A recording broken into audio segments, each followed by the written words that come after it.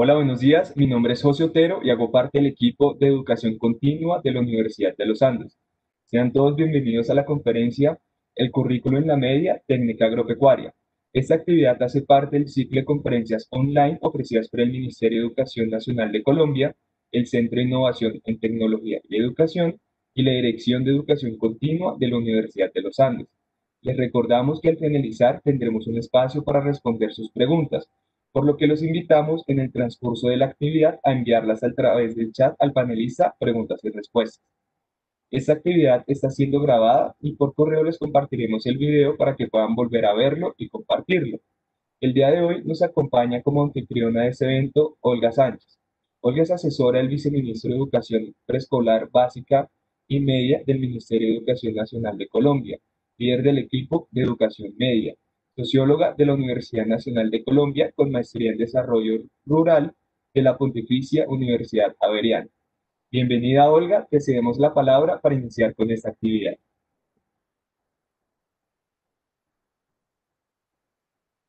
Muy buenos días. Muy buenos días para todos. Gracias. Gracias por este espacio. Bienvenidos a esta conferencia del día de hoy, el currículo de la educación media técnica agropecuaria nos acompañan el día de hoy Milton Molano Camargo, Andrés Betancourt y Ángela Cardona. Milton Molano, eh, gracias por acompañarnos hoy, profesor Milton. Milton es profesor asociado de la Universidad de La Salle, doctor en Educación y Sociedad de la Universidad de La Salle, magíster en Educación de la Universidad Javeriana, es investigador junior del Grupo de Intersubjetividad en Educación Superior experto en calidad de la educación superior, en procesos de autoevaluación y gerencia estratégica, en formación docente, eh, es experto en desarrollo humano y programas de desarrollo de valores, docente en cualificación, eh, cualificado en pedagogía y áreas humanísticas, eh, y es investigador en temas de educación, conferencista en temas de calidad, competencias y evaluación de educación superior. muchas gracias por acompañarnos el día de hoy. También nos acompaña el profesor eh, Andrés Felipe Betancourt López. Andrés Felipe es médico veterinario zootecnista con maestría en sistemas de producción agropecuaria eh, y diplomados en docencia universitaria y docencia en ambientes virtuales. Es docente, en diversas universidades públicas y privadas. Eh, en Colombia es vicerrector académico y, y rector del Instituto de Educación Superior SINOD es vicerrector de proyección de la Universidad de Caldas y actualmente es miembro del Consejo Directivo de CODESAN e investigador asociado a RIMIS, que es el Centro Latinoamericano para el Desarrollo Rural. Felipe, bienvenido y muchas gracias por acompañarnos el día de hoy. Y también nos acompaña Ángela Cardona. Ángela es ingeniera agrónoma de la Universidad de Caldas, con maestría en biotecnología avanzada. Actualmente es candidata a magíster de eh, Sociedades Rurales de la Universidad de Caldas desde el 2007 ha trabajado en programas de educación rural, implementando el modelo de escuela nueva en el departamento de Risaralda y desde el 2011 en la alianza público-privada entre el Comité de Cafeteros, la Gobernación de Risaralda y la CHE Grupo EPM, liderando el proyecto La Universidad en el Campo. Ángela, muchas gracias y sean todos bienvenidos a este, a este webinar del día de hoy, en donde estaremos abordando los temas estratégicos del currículo en la media técnica agropecuaria. Muchas gracias para todos. Para empezar, eh, quisiéramos contarles un poco cuáles son los, eh, los, retos de la educación media en general para meternos un poco más de fondo en, en estos retos de la educación en la media técnica agropecuaria. Eh, desde el Ministerio de Educación, eh, tomando foco en el, desarrollo, el desarrollo integral del joven, tenemos dos elementos muy importantes a abordar. Uno, la estancia del joven en el sistema educativo y dos, este momento tan importante por el que atraviesa el joven es el tránsito hacia la vida postmedia. Eh, bien sea hacia el mundo del trabajo, al mundo de la formación, y este es un momento muy importante realmente de tránsito en este, en este proceso en el que se encuentra el joven en la educación media. Y en ese sentido, con el ánimo de trabajar en estos dos ejes de, de, trabajo, pues tenemos tres componentes muy importantes que estructuran el proyecto de educación media en el país. Primero, contar con una oferta atractiva, pertinente y de calidad.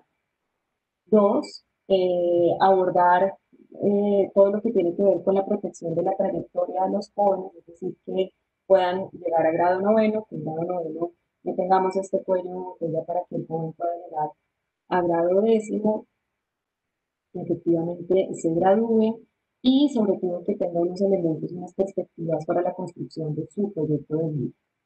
Y por otro lado, el tercer componente de trabajo que venimos desarrollando en el Ministerio de Educación es el fortalecimiento institucional para una educación media de calidad.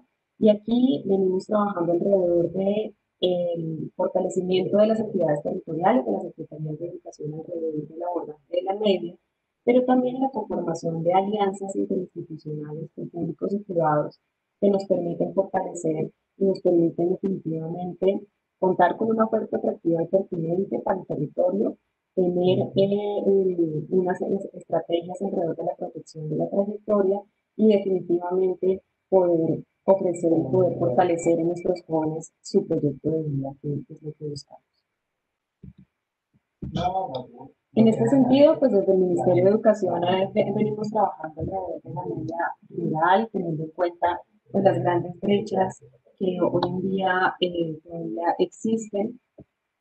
Y por un lado, tenemos que de los 9.922 establecimientos educativos que ofertan educación media, el 35% está ubicado en zonas rurales, mientras el 64% está ubicado en zonas urbanas. Esto quiere decir que todavía tenemos un gran, un gran déficit en cuanto a oferta de educación media en las zonas rurales, eh, y esto implica que las brechas, por supuesto, eh, se van profundizando cada vez más. También de los 7.402 establecimientos educativos que ofertan educación en, zona, educación en zonas rurales, el 47.6 ofertan educación media. Y eh, también es importante tener en cuenta que de los 19.377 establecimientos educativos en todo el país, solamente el 18.23% tiene una oferta de educación media en zonas rurales. Entonces, digamos que este es un primer elemento muy importante eh, que debemos abordar de manera conjunta con las entidades territoriales y tiene que ver con la ampliación de la oferta eh, de la educación media en las zonas, en las zonas rurales, efectivamente los jóvenes tengan la oportunidad de llegar a este nivel educativo porque la oferta existe. Eh, y también, por supuesto, desde el Ministerio de Educación que venimos abordando tres componentes eh, eh, alrededor de la educación media rural. Primero, contar con unos lineamientos y indicaciones para la educación media en la ruralidad.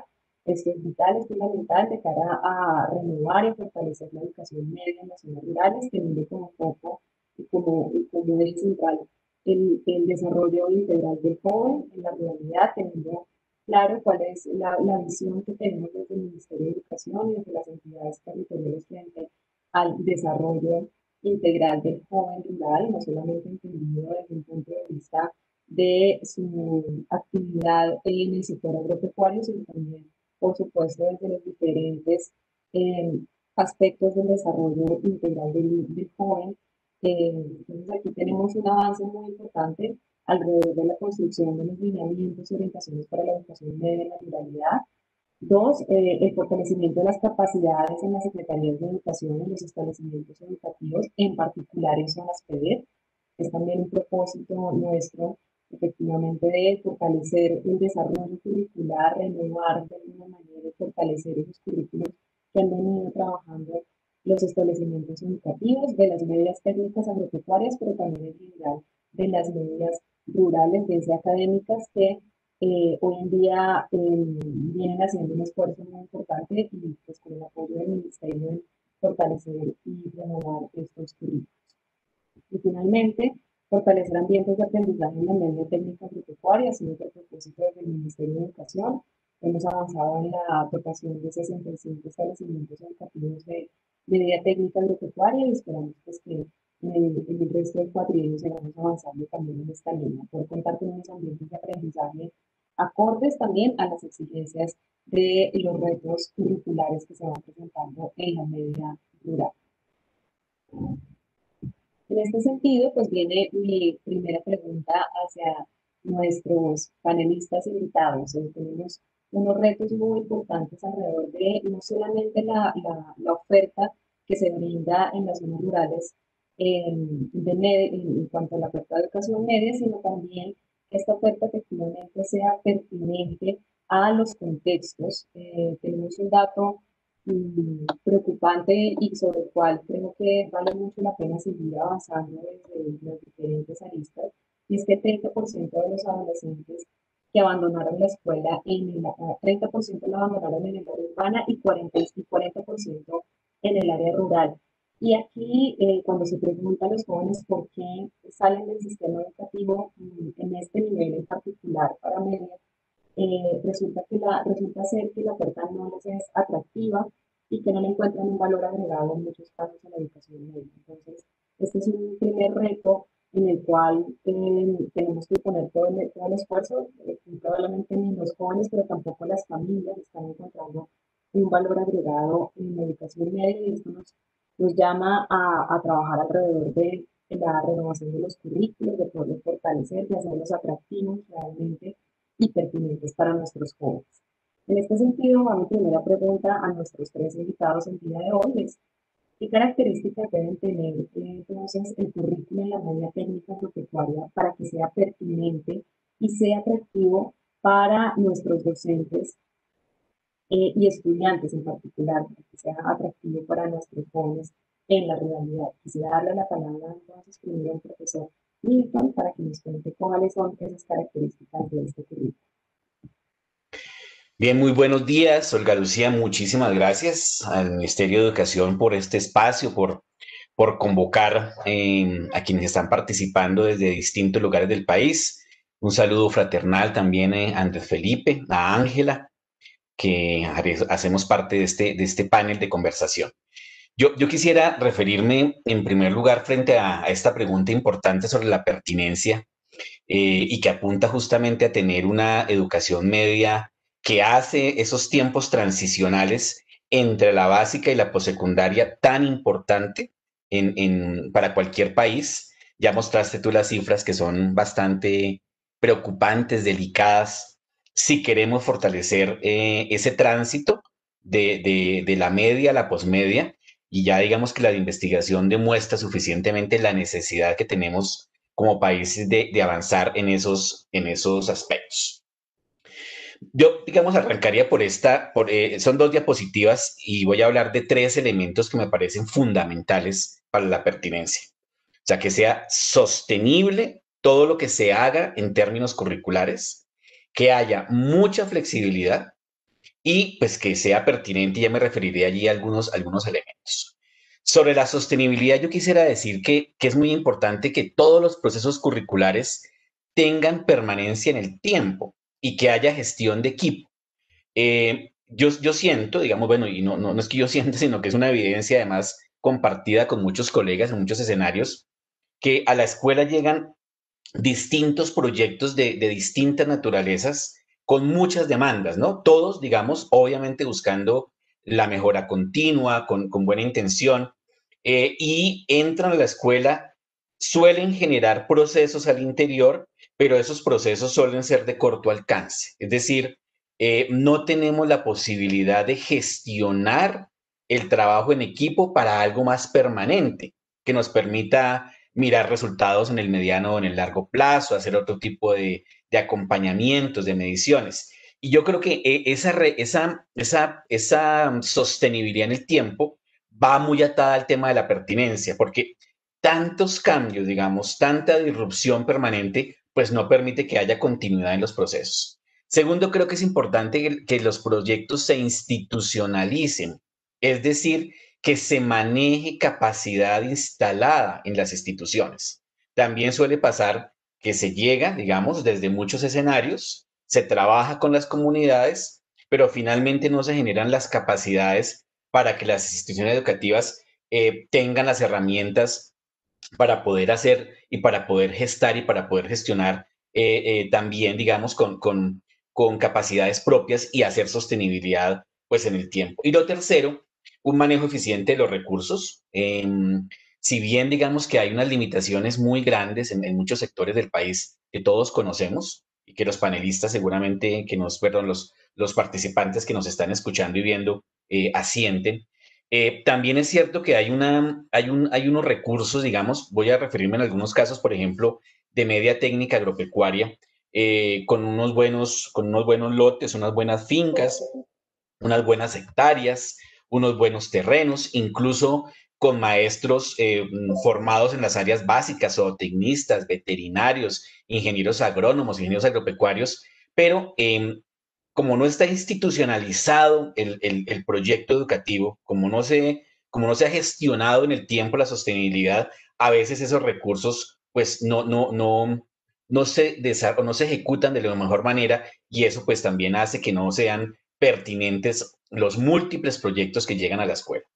Dos, debe ser un currículo flexible. Yo diría en tres sentidos. Primero, que atienda las particularidades de los, de los estudiantes. Eh, no todos los estudiantes rurales tienen vocación agropecuaria. Si bien es cierto que el sector agropecuario sigue siendo mayoritario y es, la gran fuente que moviliza la economía en el sector rural, pues no, no todos los ciudadanos rurales son campesinos, ni todos los jóvenes que están en las zonas rurales tienen vocación agropecuaria. Algunos tienen vocación artística, musical, cultural, por las ciencias sociales, por las ciencias económicas, por, por la educación. Entonces, la media debe atender esas particularidades de los estudiantes en las distintas vocaciones que los ciudadanos rurales tienen, ¿no?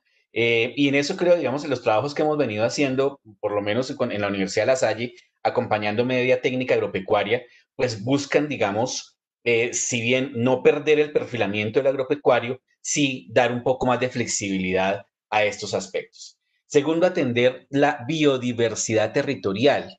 Eh, el currículo pues es, situado, es contextual, si, si lo asumimos desde una mirada sistémica, y entonces tiene que ser territorial, no puede ser de otra manera si quiere ser pertinente y atender a la gran riqueza biodiversidad y cultural que tenemos en este país. Eh, no es lo mismo, digamos, desarrollar currículos en el, en el Catatumbo que hacerlos en el Bichada o que hacerlos en el sur de Bolívar o que hacerlos sobre la cuenca de San Juan en el Chocó. O sea, ahí hay unas apuestas eh, que deben revisar y deben eh, vincular, digamos, esas riquezas.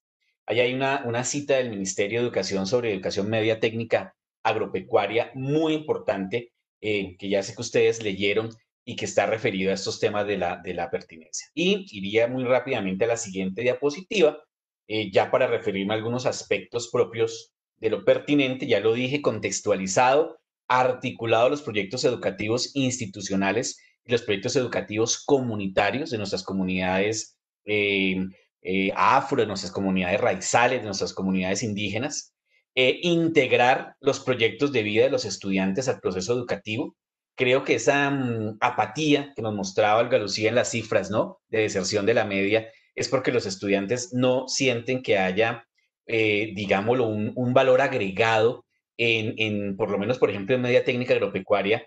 ¿Qué de distinto hago cuando vengo de mi casa y trabajo en labores, en labores del campo a lo que hago en el colegio? Entonces, eh, integrado a un proyecto de vida que les permite ver que hay futuro. Y además también, de alguna manera, que les permite ver que en los proyectos productivos que, que Ángela nos, nos ampliará más adelante eh, con suficiencia, que en los proyectos productivos hay unas posibilidades también respecto al proyecto de vida. Muy importante las sinergias entre áreas. Yo creo que hay un divorcio, lo he dicho, entre las áreas básicas, matemáticas, eh, química, biología, y las áreas técnicas. Eh, y eso hace que se sienta ese divorcio, los estudiantes lo sienten, los profesores lo viven al interior de la escuela, y a veces se ven las áreas técnicas como agregados, ¿no? Como unos agregados que no aportan. Yo, he escuchado a muchos rectores de media técnica decir, no, yo quisiera más bien pasarme un colegio más, más de, de, educación académica, a ver si mejoramos las pruebas saber, eh, la saber 11, eh, como, si, como si la media técnica eh, fuera un peso, digamos, a la formación y al contrario, yo, yo lo que veo es que ahí hay un contexto, hay unos desempeños auténticos de los estudiantes en campo que son maravillosos, pero extraordinarios para el desarrollo de competencias básicas. Es, hay, que, hay que superar eso y seguramente esa superación curricular también hará mucho más pertinente el currículo para los estudiantes. Creo que hay que hacer unos ejercicios importantes, o seguir haciendo más bien, de, de, de una dinámica, yo no quisiera decir investigativa, aunque sí lo es, pero de permanente reflexión, acción, reflexión como práctica educativa en la escuela. Porque solamente ese ejercicio nos va a superar esa mirada técnica, digamos, instrumental de lo curricular y nos va a permitir conectarnos en un ejercicio que hace práctica, es decir, que hace reflexión sobre el hacer y va produciendo cambios. Pero eso requiere comunidades que se constituyen a sí mismas como comunidades de aprendizaje. Y eso nos va, nos va a implicar seguir trabajando sobre la fundamentación conceptual, procedimental, actitudinal de lo curricular, insisto, y superar esas miradas tecnicistas del currículo que lo reducen a un plan de estudios o que lo reducen a una serie de materias ubicadas en un horario. A esto hay que meterle mucho más, mucha más reflexión colectiva de los equipos de profesores, de los equipos directivos que hay en las instituciones. Y me parece a mí, y, lo vimos mucho en distintas instituciones, que lo pertinente mm, debe también hacer unos diálogos entre lo productivo, lo social, la vinculación con las comunidades y los temas ambientales, como los grandes retos que enfrenta la producción eh, agropecuaria actual. Ahí voy a dejar entonces, eh, Lucía, para dar la palabra a mis compañeros panelistas. Perfecto, muchas gracias. Eh, muy acordes las, las, eh, las reflexiones frente al, currículo que debe ser pertinente, flexible, eh, que te, y, que, y que efectivamente se den esas capacidades instaladas también en las, tanto en los, en los establecimientos educativos como en los territorios, en las entidades territoriales. Muchas gracias, Milton. Vamos entonces con la misma pregunta de cómo debe ser, eh, qué características debe tener este currículo para que sea pertinente, eh, vamos con Andrés Felipe. Adelante.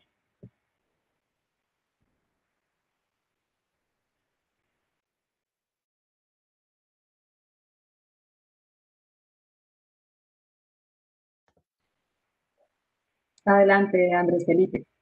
No, no, ha activado el micrófono. Disculpen, por favor, pensé que ya estaba activo el micrófono, disculpen. Muchísimas gracias, Olga, muchas gracias al Ministerio de Educación por permitirnos esta participación como Universidad de Caldas y bueno, muy buen día para todos quienes participan en esta transmisión. Eh, encuentro mucha coincidencia, como debiera ser, no, no lo esperaba diferente, pero encuentro una, mucha coincidencia y, y, eso lo celebro con los planteamientos del profesor Milton. Eh, solamente añadiría eh, en esta diapositiva como unos cuatro atributos más, pero que en realidad desarrollan estos también atributos de la flexibilidad, de la pertinencia respecto de los currículos en la media técnica. Eh, algunas características adicionales que en nuestra experiencia también con nuestro proceso de universidad en el campo hemos construido en la Universidad de Caldas nos han abierto la mirada respecto de la necesidad de la conducción y construcción de currículos participativos. Hemos encontrado que es muy, muy importante darle voz a la comunidad educativa en general, desde los directivos de las instituciones eh, de la media, los docentes y obviamente los estudiantes e incluso sus padres, los padres de familia. Nosotros, en, nuestra experiencia práctica de universidad en el campo, llevamos unos, unos diseños curriculares, llevamos unos contenidos para eh, la articulación, para los periodos de articulación de, de media técnica, pero fue necesario en cada territorio poner en diálogo para poder contextualizar. Lo dijo Milton hace un rato, no es lo mismo hacer un proceso formativo en el Catatumbo que en el Putumayo. Y eso necesita abrirse a, esa participación y, darle voz, una voz protagónica a toda la comunidad educativa. Por eso justamente otro atributo que es el que planteamos es que sea eh, dialogante, que establezca una, una estructura de diálogo, que el currículo propicie diálogos y que en sí mismo la construcción curricular sea una construcción de diálogos no solamente con las personas, como ya lo, lo referí, eh, con los miembros de la comunidad educativa, docentes, directivos, padres de familia, estudiantes, sino con el territorio mismo, con la realidad del entorno. Lo decía Milton también, con esa enorme riqueza que tenemos en nuestros territorios y reconocer, esto, esto significa también reconocer que la riqueza no solamente está en los contenidos, los diseños que nosotros llevamos. Claro, hay una riqueza enorme en los materiales y en los contenidos de formación, pero hay una riqueza también grandísima en los territorios, no solamente desde el punto de vista del patrimonio biológico y cultural, sino también en, el, en, la riqueza, en el capital humano que hay en los territorios. Entonces, poner en diálogo esas riquezas, la riqueza que nosotros llevamos desde el punto de vista académico, pero también la riqueza que encontramos en el territorio, ponerlos en diálogo debe potencializar y valorizar más las, las condiciones del territorio. Debe ser también otra característica que consideramos es que sea respetuoso.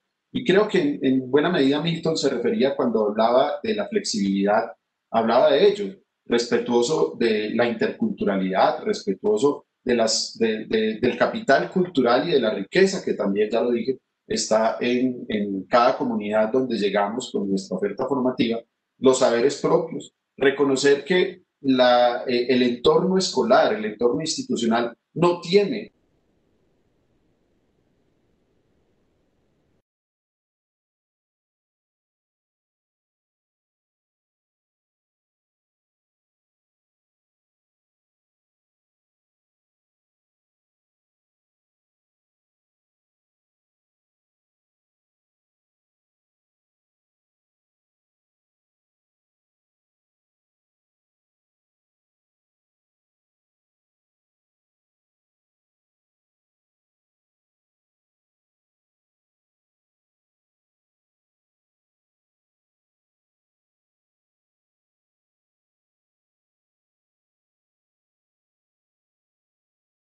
y de la vida rural en general, pero la condición de campesino es toda una categoría social.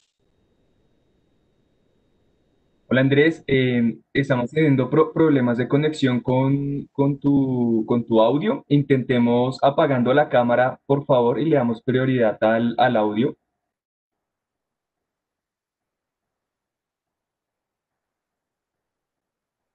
Que estaba. La categoría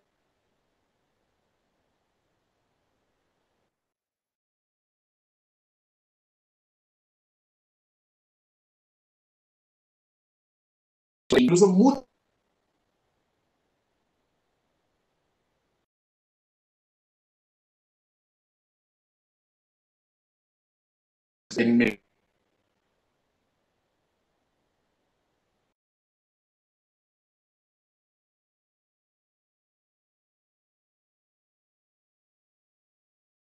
Creo que tenemos eh, dificultades con la conexión de Andrés Felipe. Eh, te, voy a, te voy a pedir, Andrés Felipe, que le des una revisadita a tu conexión. Y podemos... Voy a...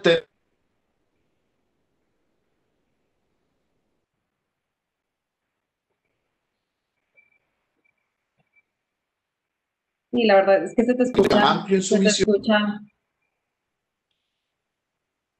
voy a cambiar de conexión. te, escuchamos muy, muy cortado. Pues.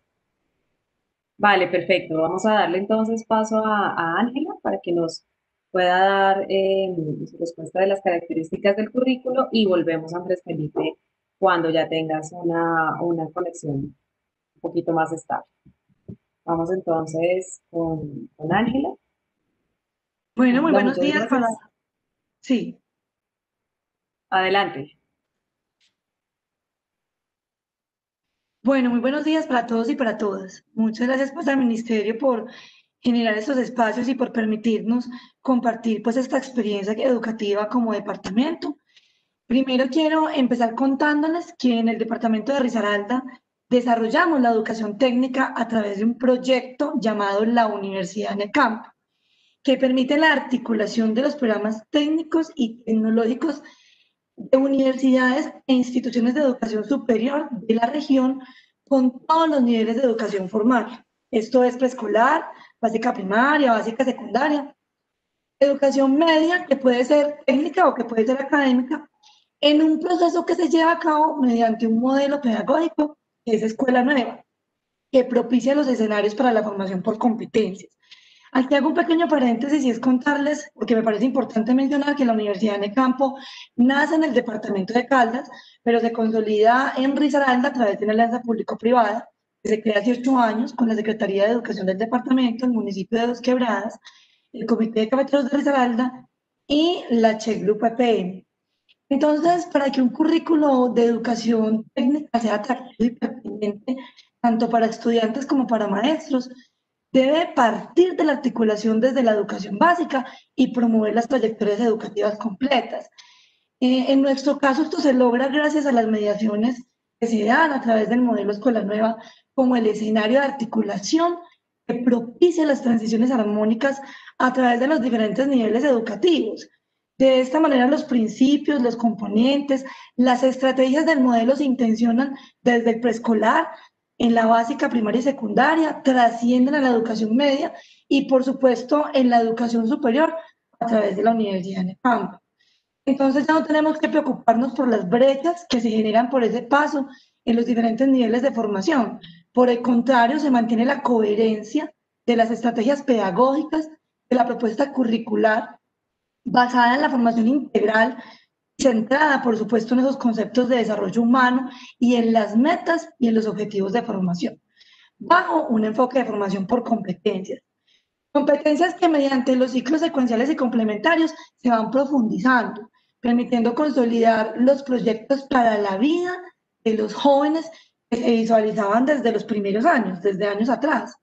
De esta manera lo que se pretende es que ese estudiante, una vez culmine su recorrido, por la educación haya fortalecido conocimientos, destrezas, habilidades, actitudes, aptitudes que son necesarias para su desempeño personal y profesional, teniendo en cuenta, por supuesto, sus motivaciones, sus intereses, sus expectativas de vida y, por supuesto, su vocación.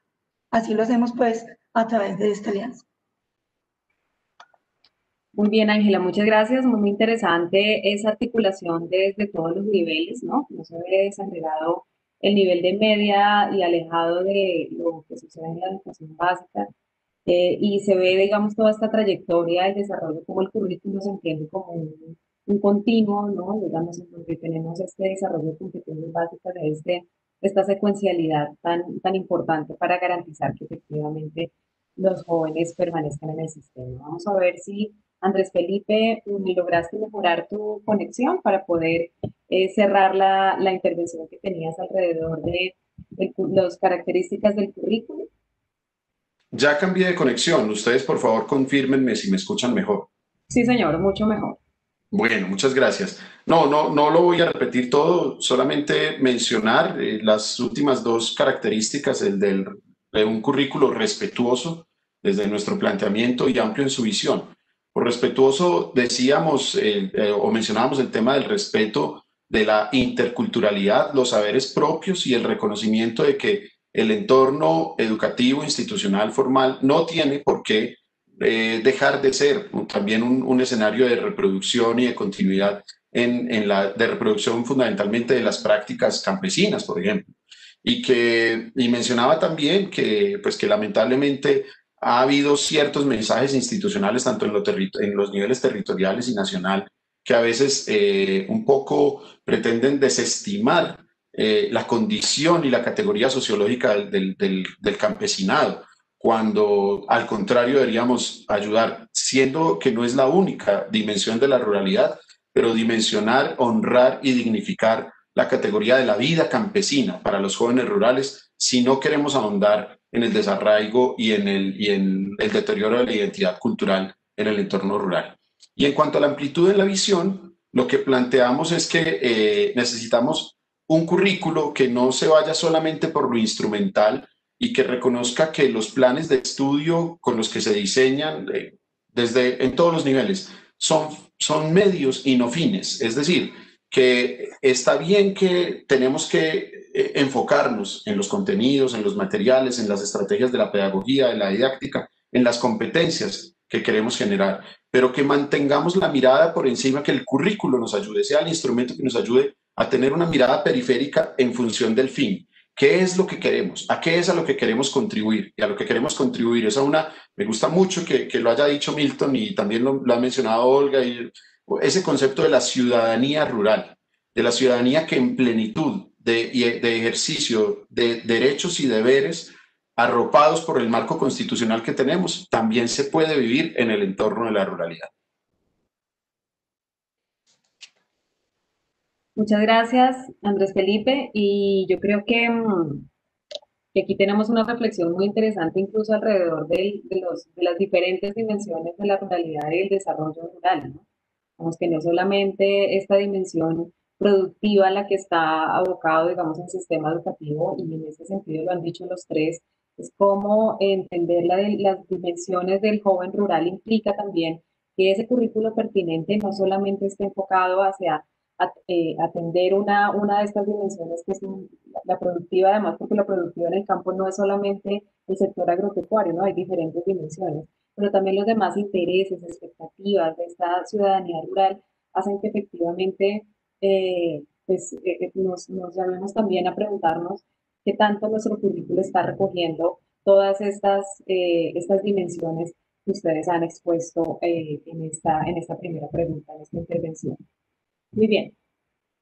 Siguiendo con, con el tema del currículo, eh, encontramos la necesidad de articular, mm, no, solo, no solamente ampliar el espectro de, de, la, de la media técnica en la ruralidad, sino también tener la posibilidad de integrar las competencias básicas, las competencias socioemocionales y las competencias específicas y técnicas decir, que efectivamente mm, tengamos siempre estos puntos de encuentro y no que la especialidad de la media técnica se desarrolle de manera desarticulada del de, eh, desarrollo de las competencias básicas. Hemos encontrado unas experiencias muy positivas eh, a lo largo y ancho del país en donde a, a propósito del desarrollo de estas competencias técnicas Mm, del sector agropecuario y se puede eh, enriquecer y fortalecer el desarrollo de las competencias básicas en matemáticas, en ciencias, en, lenguaje. Es decir, hay una, una forma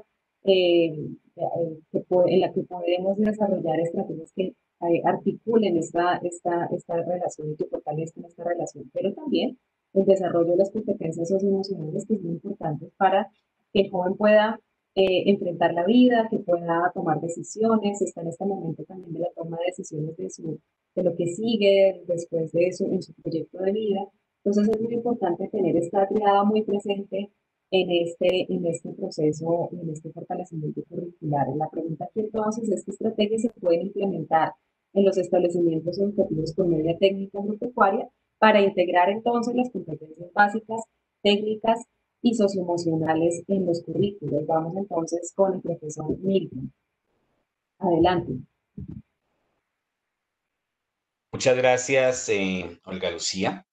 Yo quisiera, en, respecto a esta pregunta, eh, contarles y mostrarles el resultado de, un trabajo de acompañamiento con, cerca de 50 instituciones de media técnica agropecuaria en, en el Catatumbo, en el sur de Bolívar, en la costa afronariñense, en otros municipios de Nariño, eh, en Arauca y en Chocó, eh, pensando, digamos, en, esta articulación de las, de las, las competencias eh, en las propuestas curriculares.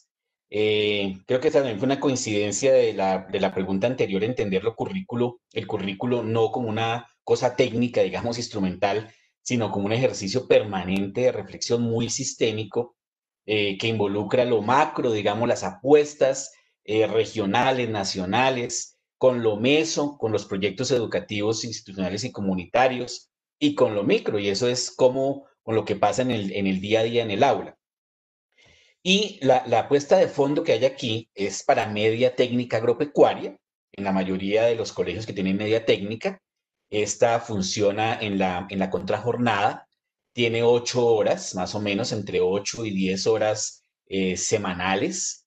Em, eh, y pues está bien en décimo y once. En muchos colegios también eh, el énfasis agropecuario arranca desde sexto grado u octavo o incluso en, menos, pero hay algunas también que tienen algunos espacios en, en la primaria están asegurados también por profesores que tienen la formación, la formación técnica en dos grandes líneas, ¿no? Lo agrícola, y, lo pecuario, digamos, con, en la mayoría de los casos o en buen número, insisto, con profesores que tienen formación técnica para esto.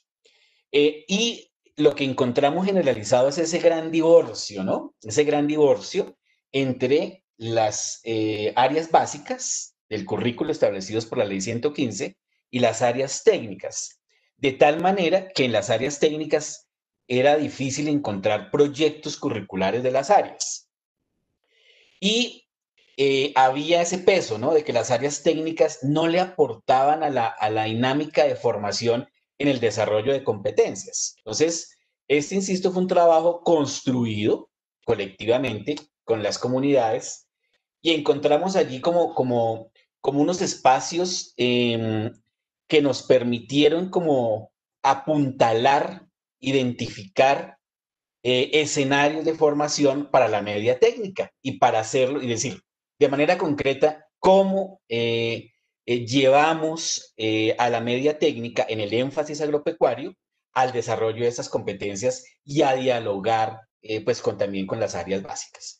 Aquí hay una propuesta, insisto, eso fue un ejercicio de propuesta de desarrollo curricular em, que incorpora, por ejemplo, elementos para el desarrollo de ciertas habilidades de, investigación que son tan importantes para cualquier estudiante en la media, eh, observar, registrar, escribir, hacer síntesis, comparar, eh, construir conclusiones, los elementos sin duda claves de emprendimiento e innovación social, es decir, de trabajo con las comunidades, de conexión con lo, con lo comunitario, ¿sí? Eh, eso que decían de tan importante del despertar el amor por la tierra, el amor por el terruño. Dice uno de, los participantes en el chat, y eso pasa, él habla desde, desde el sur de Santander, lo, poco atractivo que es para los jóvenes eh, eh, las propuestas agropecuarias, y tal vez porque no, no, no hemos descubierto pues el enorme potencial y habría que trabajar mucho más en, en, el amor por la tierra. Sin duda las dificultades son muchas, la intermediación, Em, que, no reconoce, digamos, económicamente el trabajo del campesino, el problema de vías, terciarias, la cadena de comercialización, pero hay, unos, hay unas cifras que, deben decirnos cosas. Primera, la pérdida de poscosecha en Colombia es del 50%, del 50%, o sea, el 50% de lo que producimos se pierde en la poscosecha. Y eso da a que en Colombia eh, la comida que consumimos, un tercio de esa comida la importamos. O sea, importamos 10.3 millones de toneladas de alimentos. O sea, eso tiene que decirnos cosas para los temas de emprendimiento e innovación social en la formación curricular y en el desarrollo de esas competencias para lograrlo. Los temas de educación económica y financiera que el ministerio pues ha venido eh, insistiendo como, como competencias fundamentales en la formación de la educación media, pensar lo rural y el desarrollo rural con enfoque territorial. Eh, ahí propusimos y, les pareció muy bien en todos los colegios una introducción a las ciencias agropecuarias, insisto, si bien eh, no todos los ciudadanos rurales, no todos los campesinos eh, son agricultores, porque hay otras expresiones de la vida rural, sí hay un tema importante para el país, ¿no? Cuando uno mira, por ejemplo, las cifras en el SNIES, de la formación postsecundaria en áreas agropecuarias es mínima respecto a otras áreas. Eh, y en 20 años no ha crecido nada, al contrario, ha decrecido. Ha decrecido el número de estudiantes que quieren eh, seguir estudiando en la postsecundaria en, carreras técnicas, tecnológicas, profesionales que tengan que ver con la agropecuaria. Entonces, ese, ese, eso hay que apuntalarlo, ese amor por la tierra, esa vocación, hay que alimentarla y hay que apuntalarla, pero, pero a partir de procesos sistemáticos, intencionados, que les permitan a los estudiantes descubrir que hay, conexiones con sus proyectos de vida. Y pues, digamos, todo el énfasis de, producción agropecuaria y de proyectos que están asociados a los proyectos productivos. Ese, digamos, a partir de eso es que yo, yo quiero, mm, o, que quise presentar eh, esa posibilidad de desarrollo de las competencias básicas socioemocionales, ciudadanas, los temas de educación eh, económica y financiera a partir de una construcción, insisto, colectiva que hicimos con estos colegios en estas zonas que indiqué. Y la siguiente, Olga García, por favor. Y estas son las, las competencias, tres competencias que, que identificamos que podría tener la media técnica agropecuaria. Reconocer esas problemáticas asociadas a las ciencias agropecuarias y proponer alternativas de acuerdo al contexto.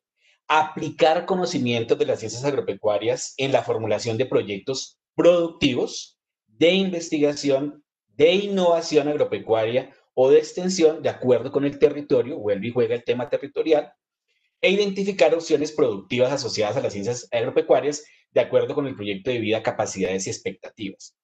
Nos parece que por ahí podría ir las competencias y en esas competencias están los temas técnicos, pero están los temas también de las demás que ya he mencionado. Estrategias, reconocer el medio, eh, de reconocer como medio para la formulación de alternativas de solución a diferentes problemáticas del agro, es decir, unas lecturas permanentes del contexto. Por eso, digamos, esa introducción de las ciencias agropecuarias hace también unos diálogos eh, interdisciplinares con lo ambiental, con lo social, con lo cultural, con lo artístico, con lo ecoturístico.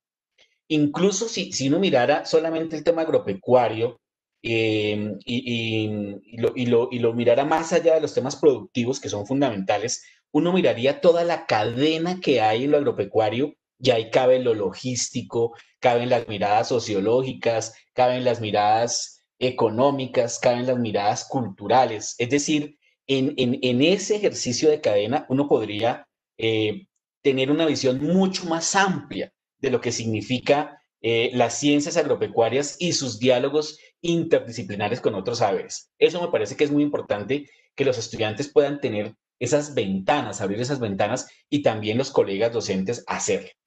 Aplicación de conocimientos para el desarrollo de proyectos, es decir, usar, y esa es la competencia, ¿no? Usar el conocimiento para el desarrollo de esos proyectos productivos.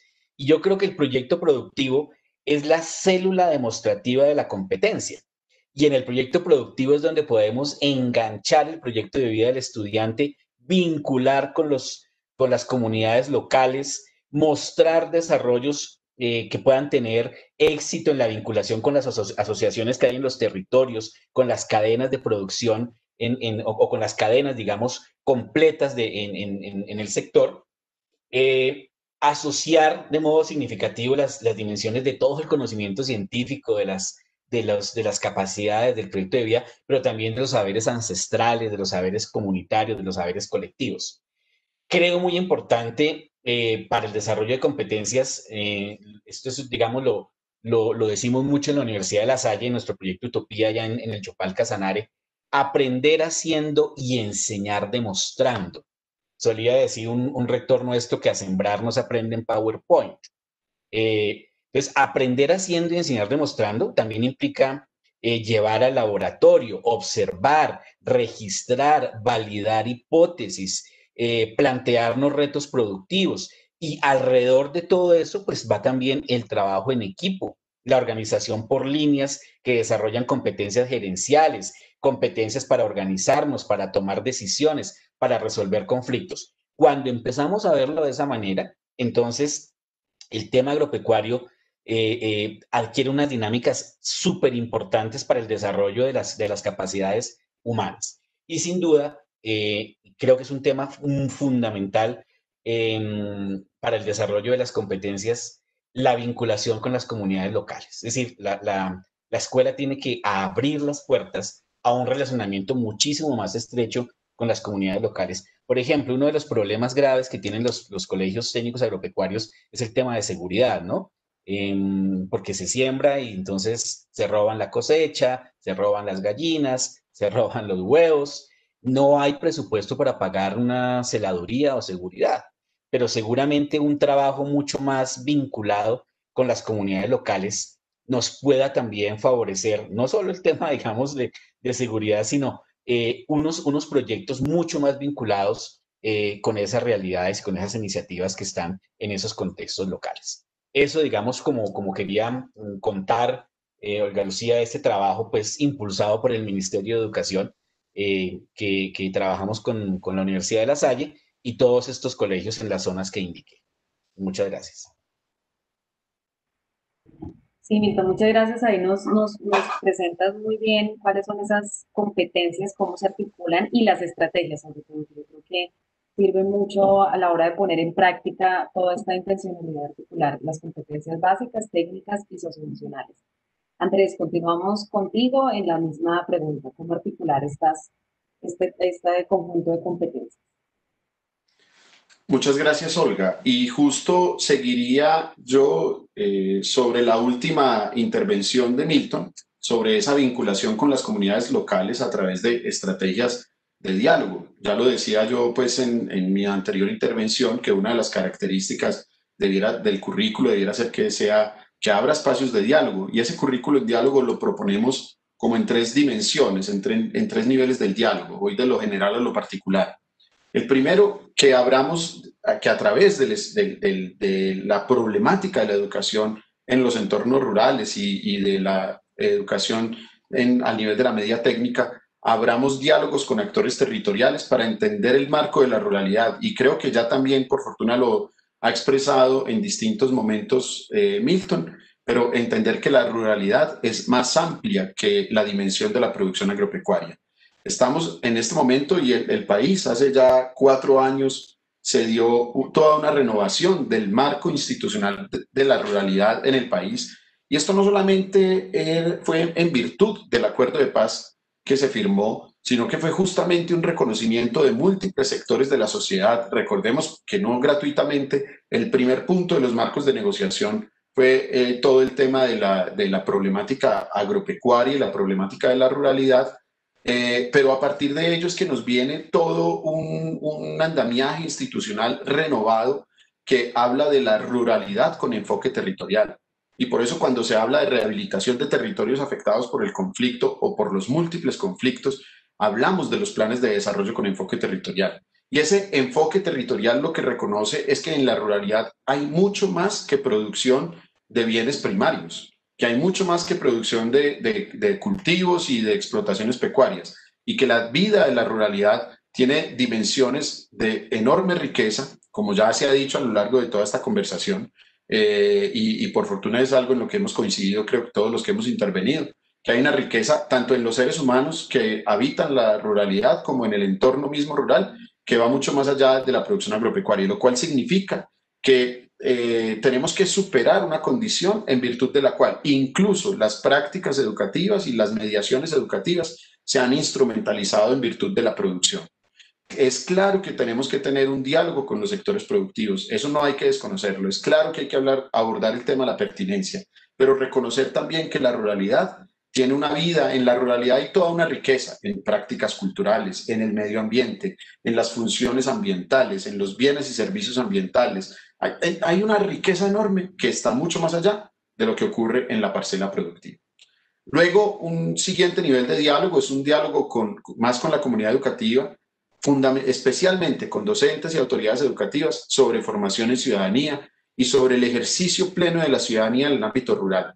Caben allí muchas preguntas y muchas preguntas que incluso nos tendrían que cuestionar eh, integralmente como, como, como sociedad respecto de qué es lo que nosotros como sociedad reproducimos y reconocemos y, fundamentamos como, como el reconocimiento de la ciudadanía y si en el entorno de la ruralidad propiciamos realmente entornos para la formación de la ciudadanía. Un aspecto, por ejemplo, eh, donde, se reproduce la, eh, el concepto y, y donde, donde se forma eh, los, donde se forman conceptos de ciudadanía. En un entorno urbano, por ejemplo, el espacio público es un espacio privilegiado para ello, pero la pregunta es, ¿cuál es el espacio público en la ruralidad?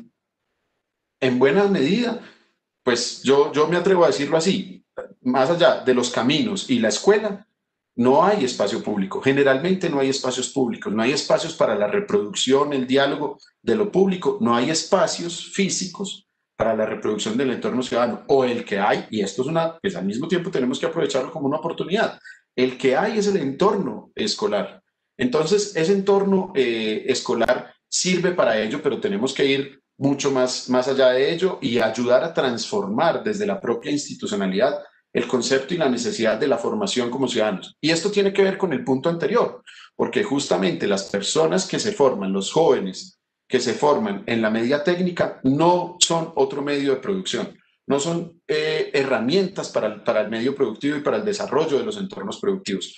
Tienen que ser ciudadanos a cabalidad, que puedan desempeñarse en el campo de la producción agropecuaria sin duda y que lo hagan bien, pero que lo hagan con un criterio no solamente del acervo de las, de las herramientas técnicas, sino que lo hagan con el criterio de que están ayudando a la construcción de sociedad desde la formación ciudadana.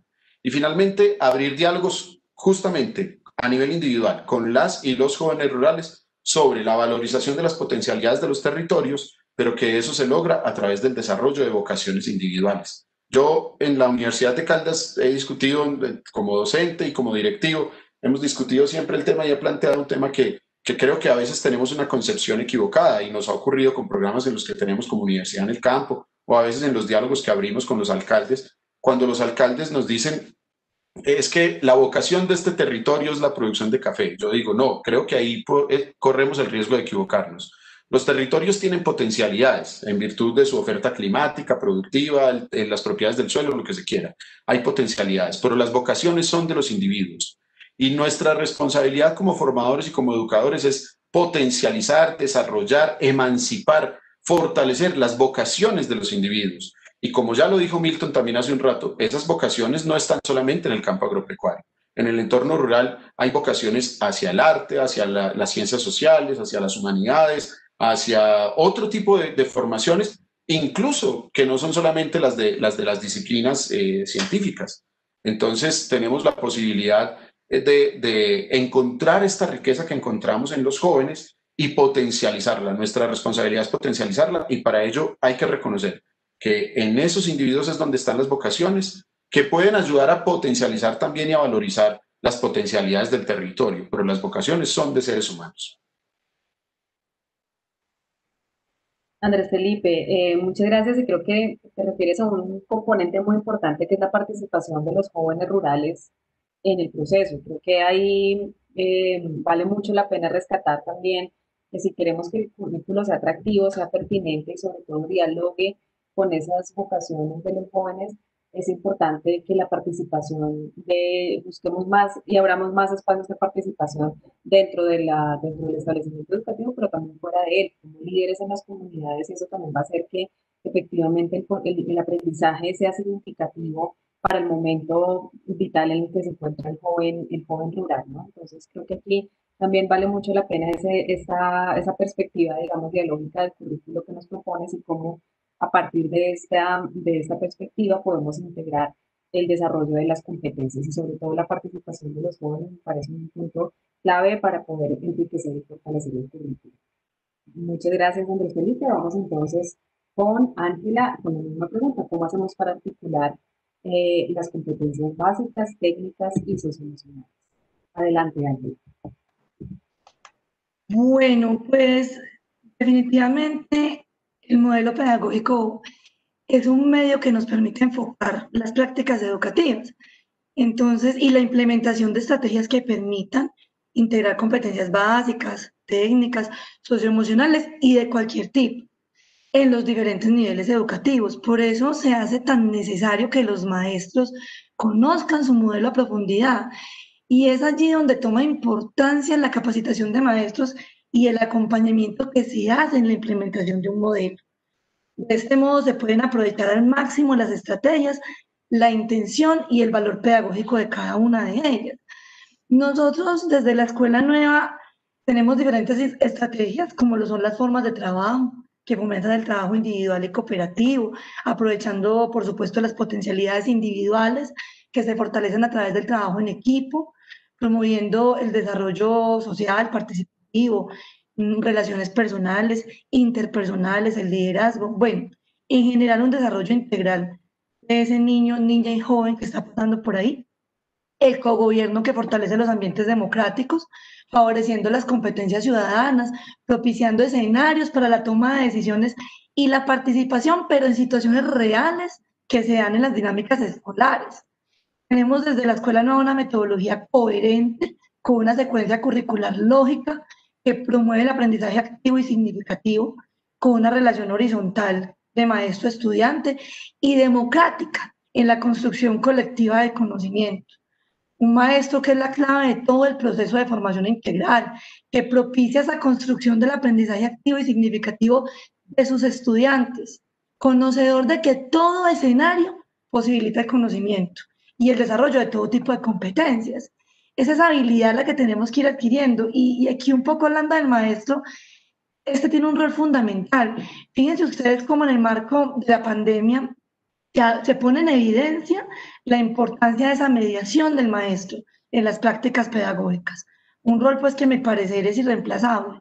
El maestro que enfoca de manera constructiva el aprendizaje, entiende y lee las emociones de sus niños, niñas y jóvenes, la participación, el liderazgo, es que promueve la organización y la promoción comunitaria, que desarrolla las competencias que son inherentes al currículo, pero aquellas que también son transversales a las prácticas pedagógicas. El uso de diferentes recursos, por supuesto. El medio para la apropiación del conocimiento y el desarrollo de competencias, contemplando materiales reales, el mismo entorno, el ambiente donde está el estudiante ubicado, materiales tecnológicos, incluso las personas de la comunidad que se pueden involucrar a los procesos de formación.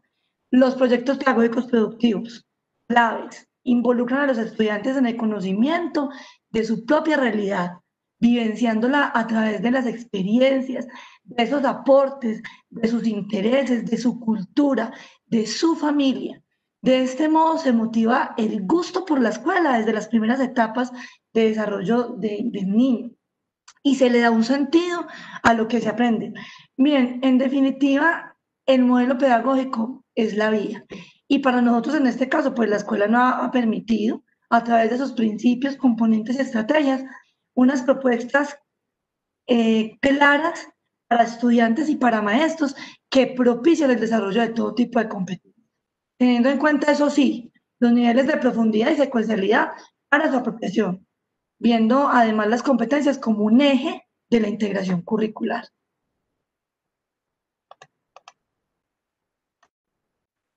Muy bien, Ángela. Muchísimas gracias. Creo que has exaltado también eh, el rol justamente del maestro como, como mediador, estos espacios de cogobierno de, espacios democráticos en escenarios reales dentro de la escuela, digamos que esto sea eh, un, continuo en, en, todo el proceso y en el desarrollo curricular. Y hablando entonces de este maestro mediador, quisiéramos profundizar entonces un poco más en eh, justamente la, la, llevar a cabo toda esta, toda esta propuesta de, profundizar en las competencias eh, y articular las competencias básicas, socioemocionales, eh, técnicas, pues nos, nos lleva a esta, a esta concepción de aprendizaje a lo largo de la vida, eh, un poco de, poder generar estas, estas, estos momentos y este aprendizaje significativo en donde el, el joven y el estudiante puede aprender a conocer, a vivir juntos, aprender a hacer, a hacer con otros. Eh, y aquí es importante entonces que todo lo que pasa en el, en el, aula, pues tiene que pasar fundamentalmente por ese maestro mediador, como lo decía Ángel hace un momento.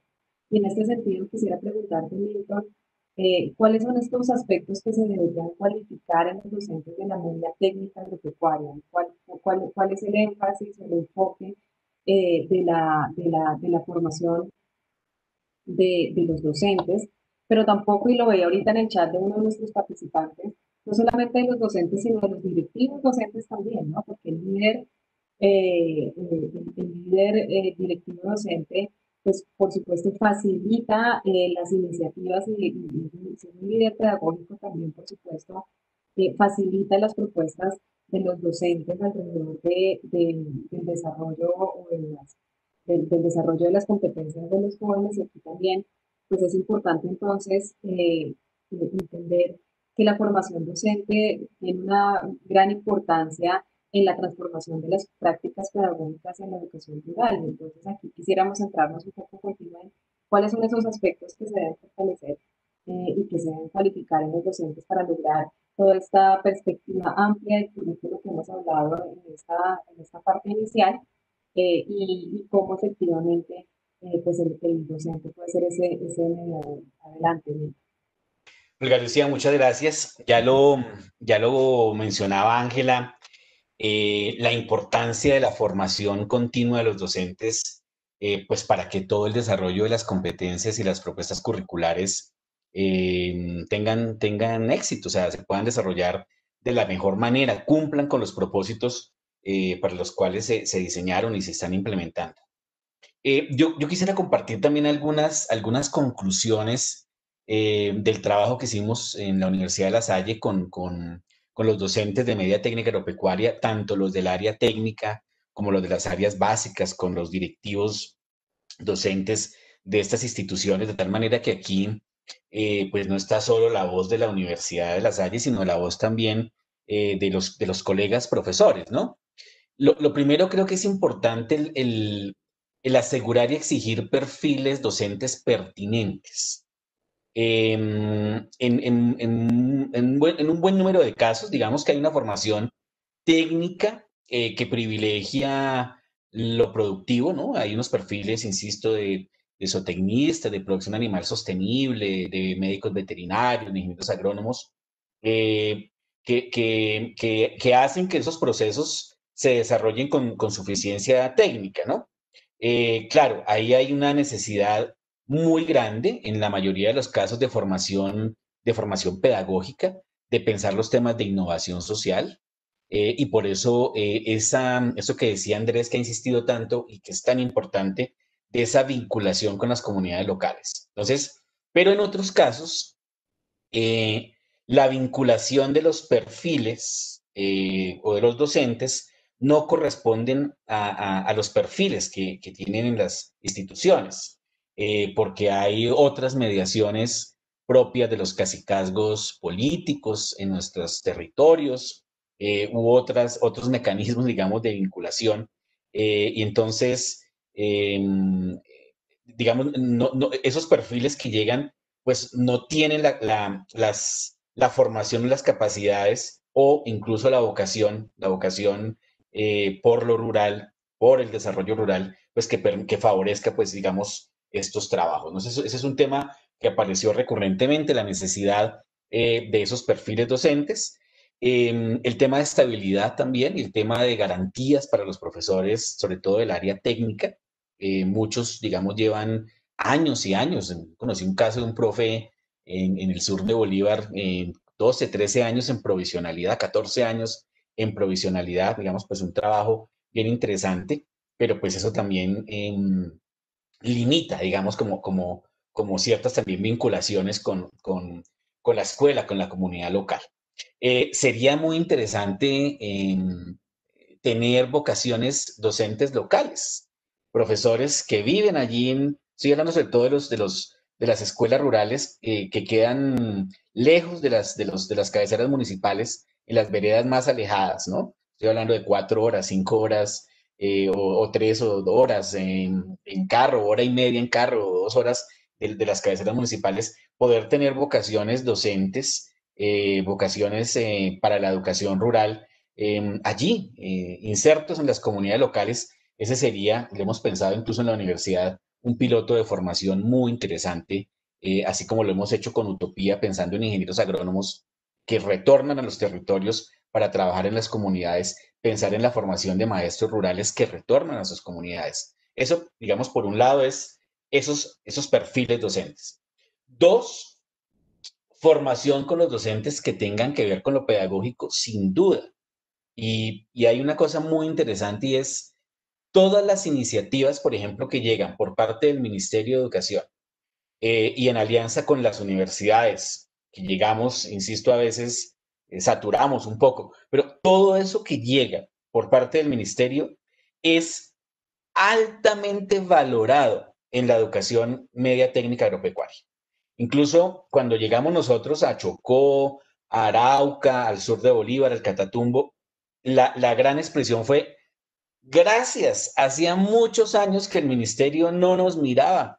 Eh, mm, bienvenida a la formación, necesitamos actualizarnos. O sea, el tema de lo pedagógico, el tema de lo pedagógico comunitario es una necesidad formativa, pero también, y lo encontramos, el tema de lo técnico. Y en el tema de lo técnico, y ahí retomo eh, algo que dijo Andrés, el tema de lo sostenible y de una producción agrícola y pecuaria sostenible. en una perspectiva mucho más ecosistémica que defiende la vida. Ahí también hay unas necesidades de formación muy grandes en nuestros profesores. Los docentes también manifestaron recibir eh, eh, o necesitar una, una formación para el trabajo en competencias socioemocionales.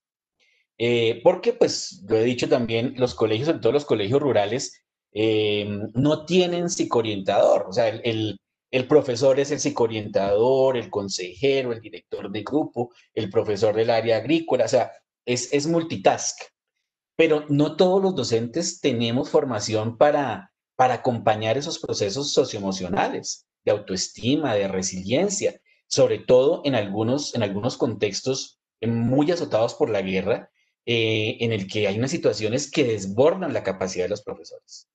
Eh, y eso, ese proceso formativo eh, para los profesores les va a permitir un mejor involucramiento que apoye y mejore la calidad de vida de los estudiantes, les ayude a tomar mejores decisiones.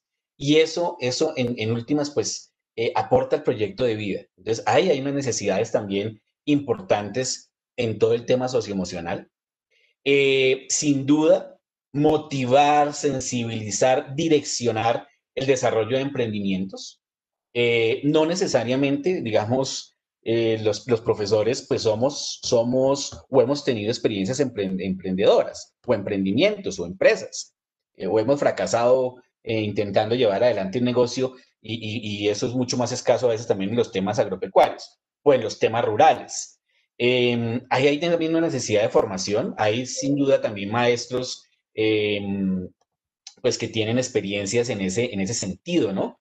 Ahí, bueno, ahí está Aurelina dándome la razón eh, desde el Chocó, ¿no? Eh, hablando de las provisionalidades. Bueno, me devuelvo aquí al, tema de los emprendimientos eh, y creo, por ejemplo, la línea de proyectos productivos es muy interesante en ese sentido, porque ayuda a pensar lo financiero, los presupuestos, las cadenas de producción, el tema de sostenibilidad, insisto, pensarlo, pensar la cadena en un sentido mucho más amplio que involucra lo social, lo cultural, la población, lo sociológico, lo económico y no solamente, y eso creo que es una coincidencia y una conclusión de esa conversación, no está reducido a lo meramente productivo en lo agrícola y pecuario. Eh, como lo decía Olga Lucía, eh, se hacen también nombramientos de rectores comprometidos, que tengan interés en lo agropecuario, en general en lo rural. Ahí hay que decir, digamos, también que, mm, y está en el último punto, eh, por parte de, los, eh, de las entidades territoriales certificadas, eh, un mayor acompañamiento también, ¿no? Para que los horarios se cumplan, para que el rector esté en la institución. claro, un rector tiene que tener relacionamiento, moverse, ir al municipio, buscar hablar con los sectores productivos, comunitarios, eh, pero es muy importante esa presencia del liderazgo. Yo creo que aquí hay un reto para el país en la formación de esos liderazgos docentes, de esos rectores, que en el caso de los, de los colegios de media técnica agropecuaria, eh, eh, pues tiene, digamos, unos retos adicionales, ¿no? Unos retos que ya hemos venido, pues, presentando a lo largo de toda esta presentación. Entonces, creo que ahí hay unas, unas pistas, ¿no? Respecto a esos temas, a esos temas de formación.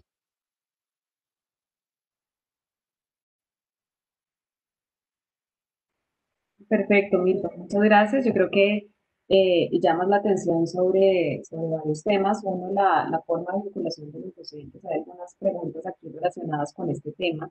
Ya las vamos a ver en las preguntas. Eh, eh, pero también, digamos que llamas la atención en la necesidad de ampliar el espectro, digamos, del conocimiento técnico de los docentes hacia otros elementos más pedagógicos, hacia el desarrollo de las competencias socioemocionales que a veces eh, creo que el, docente puede tener una, una muy buena formación técnica y tener una rigurosidad en el saber técnico, pero por supuesto poner esto a dialogar y sobre todo el trabajo con los jóvenes implica también una, eh, una perspectiva pedagógica también distinta y es entender también qué emociona y qué motiva al joven a aprender, qué, qué efectivamente es lo que le está resultando significativo al joven entender un poco también esta dinámica del buen y como tú decías en una anterior intervención, Eh, incluso si solamente tomásemos la, la, línea del agropecuario, ahí tenemos una cadena muy amplia que nos permite eh, irnos desde lo, desde lo logístico, desde las comprensiones sociológicas, culturales de la producción,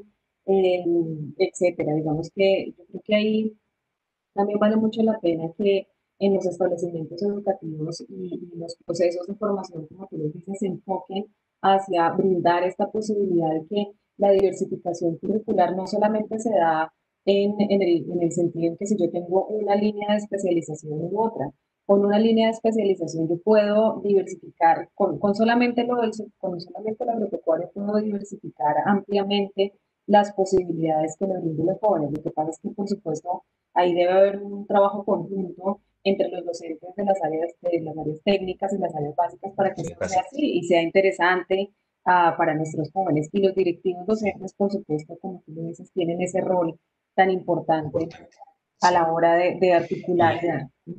Y una última cosa, ya cierro, eh, y, y, lo dije en la, en la, primera, en la primera pregunta sobre sostenibilidad, y yo creo que aquí en tema de formación, el rol, porque el ministerio hace un enorme esfuerzo eh, y se articula con los con las entidades territoriales certificadas, aquí hay un importante papel de las secretarías de educación, ¿no? En todos estos temas de, formación y de liderazgos, de liderazgos docentes, eh, y eh, la manera en que los, las secretarías de educación asumen estas, estas responsabilidades hacen una gran diferencia. Totalmente, totalmente. Eh, y aquí también pues, va a ser el, el, el trabajo conjunto Ministerio de Secretarías de Educación para poder lograr esa, esa, ese reto, digamos, poder, poder avanzar en una formación docente también mucho más completa eh, y mucho más pertinente. Bueno, vamos con un, siguiente tema, digamos, de cierre que tiene que ver con, con, la perspectiva de la evaluación formativa como parte integral del currículum, ¿no? Digamos que, eh, de hecho, en un seminario que hicimos hace, hace ya unos dos meses, un mes y medio con la Universidad de La Salle, en asocio con la Universidad de La Salle, veíamos eh, cómo la, evaluación realmente debe ser parte integral del aprendizaje y este llamado a la formación por competencias también nos, nos llama a pensar en la evaluación por competencias, que es una, una evaluación completamente distinta, ¿no? digamos, una evaluación en donde no se evalúa per se el, conocimiento solamente que yo tengo sobre algo, sino como lo decía eh, Milton y lo, lo han dicho eh, Andrés y Ángela, eh, aquí, es, aquí es un aprender haciendo también la importancia de la práctica, la importancia de, llevar a, la práctica el desarrollo de las competencias. Pero entonces esto implica también unos mecanismos y una fundamentación distinta de la evaluación. Aquí entonces la pregunta va para Andrés Felipe y es eh, justamente cuáles son estos eh, estos elementos, cuáles son esos aspectos que se deben fortalecer de la evaluación para que contribuya a la formación y el desarrollo de competencias de los jóvenes de la media técnica agropecuaria, ¿no? que se esta evaluación como una oportunidad de cambio, como motivación, no como castigo, que valore las distintas eh, posibilidades de evaluar y que por supuesto aquí también la evaluación recoge y respete la diversidad y definitivamente la evaluación eh, esté muy acorde con las particularidades y las condiciones de nuestros estudiantes. Entonces, adelante, Andrés Felipe, ¿cuáles son esos aspectos que, debemos, que se deben fortalecer de la evaluación? Muchas gracias, Olga, de nuevo. Bueno, en, nuestra, experiencia, digámoslo, en, procesos de, de, articulación, en media técnica y procesos de en presencia en procesos educativos rurales, algunos, menciono aquí cuatro elementos que a nosotros nos han ayudado a fortalecer los procesos de evaluación, específicamente de evaluación formativa. Primero, mm, motivar, aunque estas son, son cualquiera de las cuatro cosas, creo, de los cuatro elementos creo que son, son muy básicos, suenan muy lógicos, pero en realidad en la práctica cotidiana en las instituciones educativas no es lo que encontrábamos. La primera, una lectura del territorio desde la perspectiva de los propios activos bioculturales de ese territorio. Nosotros nos encontramos permanentemente con docentes eh, que no conocen el territorio mismo en el que están, ni la dotación, ni de sus recursos naturales, ni de su tradición cultural. Eh, probablemente en, el chat yo he estado siguiendo también a, la par que, que, escucho las intervenciones, leo también las preguntas en el chat, probablemente asociado a temas o a otras problemáticas que, que algunos están mencionando, al tema de que no se ha desarrollado la vocación, de que no hay arraigo por parte de los docentes. Eso puede tener múltiples dimensiones, no, no me corresponde ahora pretender encontrar cuáles son las causas, pero sí necesitamos que el docente mismo eh, tenga una mejor capacidad de lectura del territorio y que por esa vía, la pregunta atañe es a la evaluación, que la evaluación lo que propicie sea eh, lectura de lo territorial, lectura de, de, las dotaciones, de las potencialidades, de las capacidades que se agencian desde lo territorial. También una concepción sistémica de la evaluación. Mm, quienes tuvimos la, bueno, quienes, quienes recibimos nuestra formación a los niveles básicos, eh, digamos antes, de los, antes del 2000, en, en los 70s, 80s, 90s, qué sé yo, eh, pues justamente nosotros sabemos lo que o hemos vivido la consecuencia de haber tenido una formación y unos métodos de evaluación segmentados y fragmentarios. Que, que separaban los objetos de, formación y de conocimiento, que, que apelaban más que nada a, a, la memoria, recurrían a la memoria, que, que no generaban interacciones entre áreas eh, disciplinares y áreas de formación.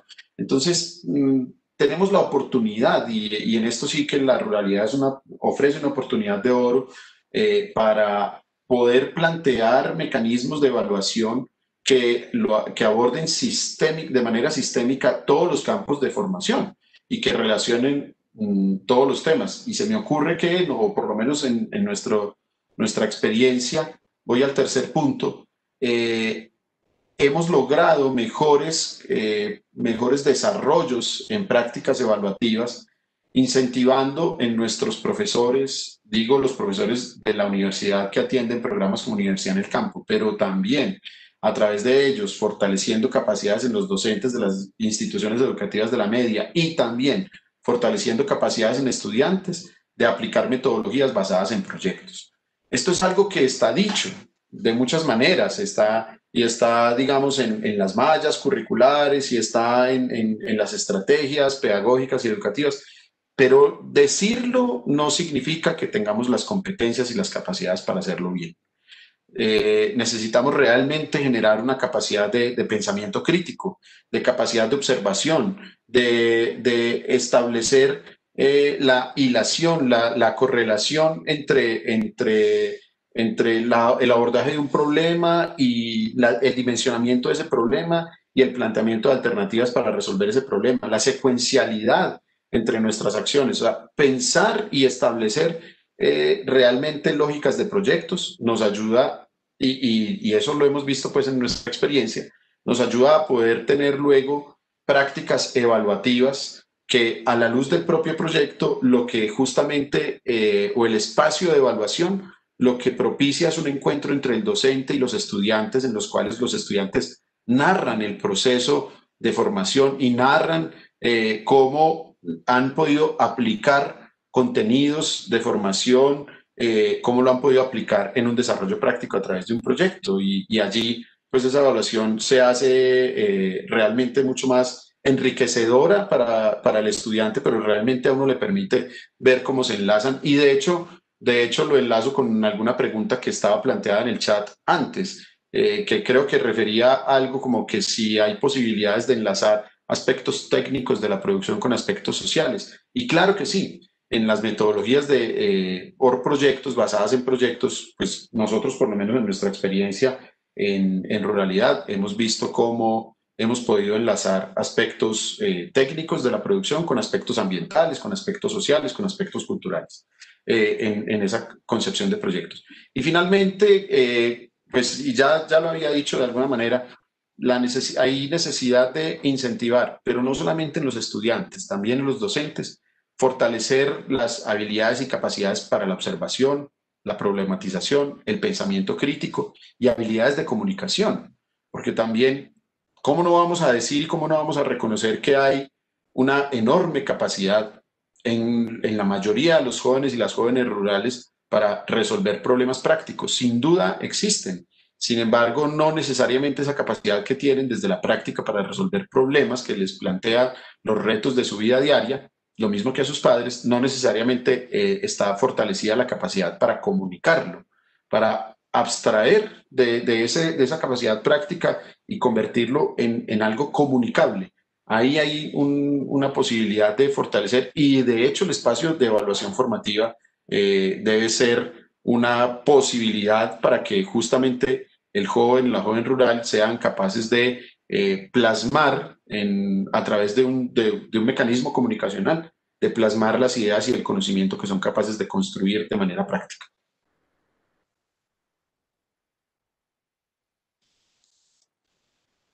Andrés Felipe, muchas gracias. Creo que presentas una, una muy buena estructura, digamos, que va que es entender en esta concepción sistémica de la evaluación partes de la, de la lectura del territorio, eh, nos haces una propuesta alrededor de la evaluación con base en la formación, en, la, en la, formación bajo la metodología de proyectos y, eh, y, en la necesidad de fortalecer estas habilidades de, de, observación, de pensamiento crítico y de comunicación de nuestros jóvenes y que efectivamente la evaluación contemple, digamos, todos estos ámbitos, hace que la evaluación sea una evaluación mucho más enriquecedora para, para el joven, para el docente también. Incluso, eh, ahorita que lo mencionas, incluso hay, hay, estrategias de evaluación que involucran a otros, ¿no? A las familias, a otros actores en el entorno rural vale mucho la pena explorar no solamente esa eh, evaluación unidireccional docente, estudiante, sino también que se impliquen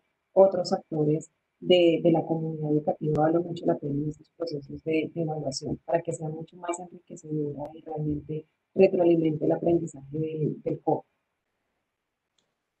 Si tú me lo permitieras, Olga, eh, quisiera compartir con todos una anécdota más de mi vida como docente en educación superior. Yo soy veterinario de formación y fui profesor en veterinaria antes en mi universidad, en la Universidad de Caldas.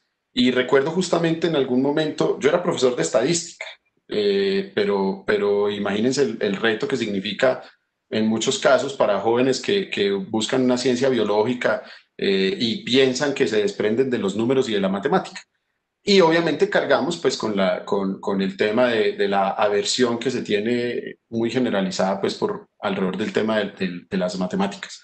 Eh, y, tenía alguna vez una conversación con los estudiantes, con mis estudiantes por, por las formas de evaluación, porque justamente yo, yo trataba de impulsar formas de evaluación que fueran colectivas, o sea, más bien plantearles problemas, más que el uso de una calculadora o de una tabla o de una fórmula, problemas y que esos los, y, mi modelo de, evaluación era discutido, yo le calificaba a cada uno individual, pero los exámenes los podían desarrollar con el cuaderno abierto, con los libros en la biblioteca, eh, discutiendo entre ellos, porque finalmente era problematizar, discutir y tratar de armarse de un criterio, que al final es lo que importa, el criterio, eh, pues porque estábamos formando profesionales. Estoy hablando del caso como, como estudiantes universitarios. Y entonces los estudiantes en su momento, digamos que al, al inicio del semestre eso siempre choca. Y algunos estudiantes alguna vez entonces en una discusión alrededor del tema decían, pero ¿por qué no nos hace más bien exámenes tipo test? Y lo que yo les decía es, yo no, no, no, no creo que sean unos buenos o malos, no, los exámenes tipo test también funcionan, pero yo les pregunto algo, cuando ustedes sean veterinarios y si alguno de ustedes se va a dedicar, por ejemplo, a la clínica, ¿Ustedes creen que a su consultorio va a llegar un dueño de una mascota diciéndole, doctor, mi perro tiene A, moquillo, B, hepatitis, C, leptospirosis? No, esa no es la realidad.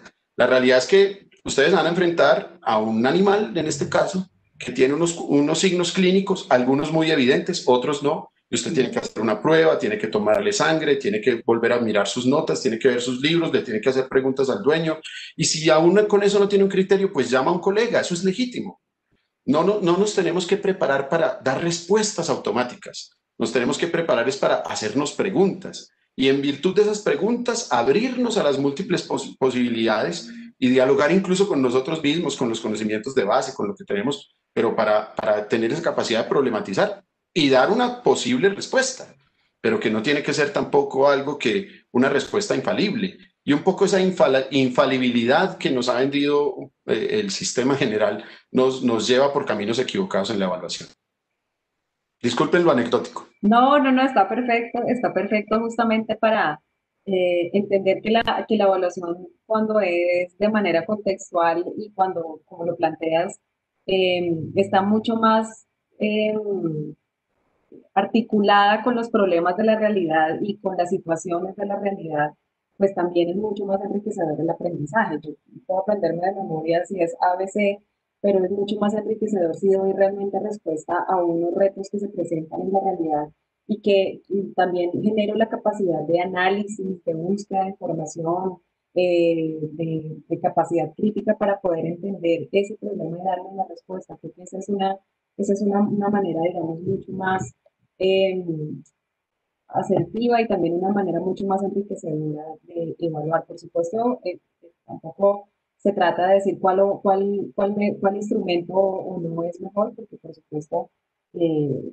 pueden también triangular eh, diferentes mecanismos de evaluación, pero aquí vale mucho la pena esto que nos estás contando y, ese, y ese, esa anécdota eh, creo que está perfecta para poder entender también cómo los docentes, y creo que nos, nos podríamos complementar un poquito ahora la pregunta de Milton, era también formarse, claro, en aspectos pedagógicos y, en, justamente también en las estrategias y mecanismos de evaluación, porque a veces al verlo de manera eh, separada, digamos, del currículo, eh, eh, probablemente la, la, las metodologías de enseñanza sean muy abiertas y basadas en proyectos, en problemas, en preguntas, pero la evaluación sigue siendo tradicional. Entonces creo que también vale mucho la pena en esas mecanismos, en esas necesidades de formación de nuestros docentes también entender la evaluación y cómo podemos aprovechar la, la, los contextos y la realidad para poder enriquecer la evaluación. Perfecto. Y hablando de, de, este tema de, de, la realidad y de cómo, los, de cómo anclar el aprendizaje a, a, la cotidianidad de nuestros jóvenes, pues viene una última pregunta dirigida a Ángela, y es alrededor de los proyectos pedagógicos productivos que permiten, incluso lo decía Milton ahora, anclar el, el aprendizaje, el, el, proyecto pedagógico, el proyecto de vida de, de los jóvenes en la ruralidad. Eh, y también aquí está, creo que anclado también unas preguntas que vienen de nuestro público de hoy y es eh, cómo podemos desarrollar en, los jóvenes rurales estas competencias alrededor de, del emprendimiento, alrededor de estas competencias más del mundo laboral, eh, que lo preparen justamente para esa vida posmedia que viene una vez eh, termine, termine el colegio. Entonces, aquí, aquí es importante entender estos proyectos pedagógicos productivos como una oportunidad de oro para articular las competencias en los currículos, también una oportunidad para eh, vincular a diferentes actores del, del, sistema alrededor del aprendizaje de los jóvenes. Aquí Lincoln ahora nos, nos decía, bueno, importante también vincular a las familias y a la comunidad, no solamente como en el cuidado de, la, de, los proyectos pedagógicos. Ahorita había una intervención de alguien que decía, pues sí, aquí se nos meten, nos roban, se llevan la producción. Y cada vez más es, es más importante realmente eh, rodear estos proyectos de, de, la participación de la comunidad. Entonces aquí eh, creemos que lo, en la ruralidad y la, la, la, gran oportunidad y la, la gran potencialidad también que existe alrededor de la experiencia del aprendizaje es cómo integramos los proyectos pedagógicos productivos a esa experiencia y cómo también rodeamos con la participación de la comunidad. En este sentido, la pregunta para Ángela es, eh, ¿qué papel cumplen los proyectos pedagógicos productivos y el fomento de la cultura del emprendimiento en la media técnica agropecuaria y cómo fortalecer esos proyectos pedagógicos eh, productivos también a partir de la experiencia, Ángela, que ustedes han tenido en, aplicando el modelo de escuela nueva en, en y Universidad del Campo. Sí, bueno. Bueno, gracias, Olga. Pues claro, para que el emprendimiento y la empresarialidad sean cultura, deben estar ligados a esas acciones que se hagan diariamente con los estudiantes, a sus hábitos, ideologías, a sus costumbres por eso ese fomento de la cultura debe darse desde la base, desde las primeras etapas del desarrollo. Obviamente, implementar y fortalecer los proyectos pedagógicos productivos requiere un esfuerzo coordinado por parte del establecimiento educativo y su relación con la comunidad educativa, integrada por distintos actores, incluidos el sector productivo, los alianzas, entre otras. Pero también requiere de una estructura organizacional orientada hacia la formación de personas integrales, con proyectos para la vida que se involucran eh, desde las competencias necesarias para hacer frente a los desafíos del mundo familiar, laboral, productivo, social. Esto pues ya lo decían también mis compañeros panelistas. Es así como los proyectos pedagógicos productivos nos brindan la oportunidad de generar la apropiación de conocimientos desde las diferentes disciplinas del saber y el desarrollo de diferentes habilidades, destrezas, actitudes, aptitudes, emociones por parte de los estudiantes. Desde el modelo Escuela Nueva nosotros eh, vemos los proyectos como el pretexto para integrar el contexto al currículo, permitiendo el aprendizaje significativo, posibilitando la cultura del emprendimiento y la empresarialidad a través de prácticas concretas que se hacen con los niños, niñas y jóvenes en su paso por los diferentes niveles de educación. Además, le da la oportunidad a los jóvenes, cuando ya están un poco más grandes, de generar ese cambio en sus prácticas, pero también en la parte social de sus comunidades. Son una estrategia que convoca al trabajo en colectivo, al trabajo a través de las prácticas, al saber científico, al saber académico, mediante una propuesta institucional que debe estar muy clara y que debe trascender también a la familia y a la comunidad. Bueno, desde esa perspectiva, mm, en Risaralda, a través de esta alianza, promovemos los proyectos pedagógicos productivos desde la educación básica, a través de proyectos que se desarrollan dirigidos en las escuelas y que permiten la realización de algunas prácticas que están mediadas por el maestro. Prácticas que posteriormente serán desarrolladas por los estudiantes en sus hogares, a través de unos proyectos que se hacen de manera supervisada. De este modo se da un intercambio de experiencias eh, y de saberes entre la comunidad y la escuela en doble vida. Así vamos generando en los niños, niñas y jóvenes experiencias productivas que además van aportando conocimientos que fomentan actitudes como la creatividad, la innovación, el pensamiento flexible, la identificación de oportunidades, para que de este modo, cuando el estudiante llegue a la educación media, pueda materializar todos estos proyectos en ideas que vivenció a lo largo de su paso por la educación básica. Y que cuando llegue a la universidad en el campo, pues pueda generar planes de negocio que permitan desarrollarse en sus territorios desde sus intereses y expectativas de vida. Fíjense ustedes que también los proyectos pedagógicos productivos aquí toman vital importancia y se convierten en ese escenario perfecto para valorar todo tipo de competencias que se desarrollan en el paso por la escuela y que se van profundizando en los diferentes niveles educativos. No es fácil, pero es una tarea que se hace si se trabaja desde la base, si se trabaja con docentes comprometidos, con maestros que, que conozcan el territorio, que vinculen ese territorio al, currículo, a sus prácticas pedagógicas y articulen finalmente todos los conocimientos que traen la comunidad, que traen los estudiantes desde sus vivencias, desde sus experiencias, a ese currículo y a esas interacciones que se dan al interior de la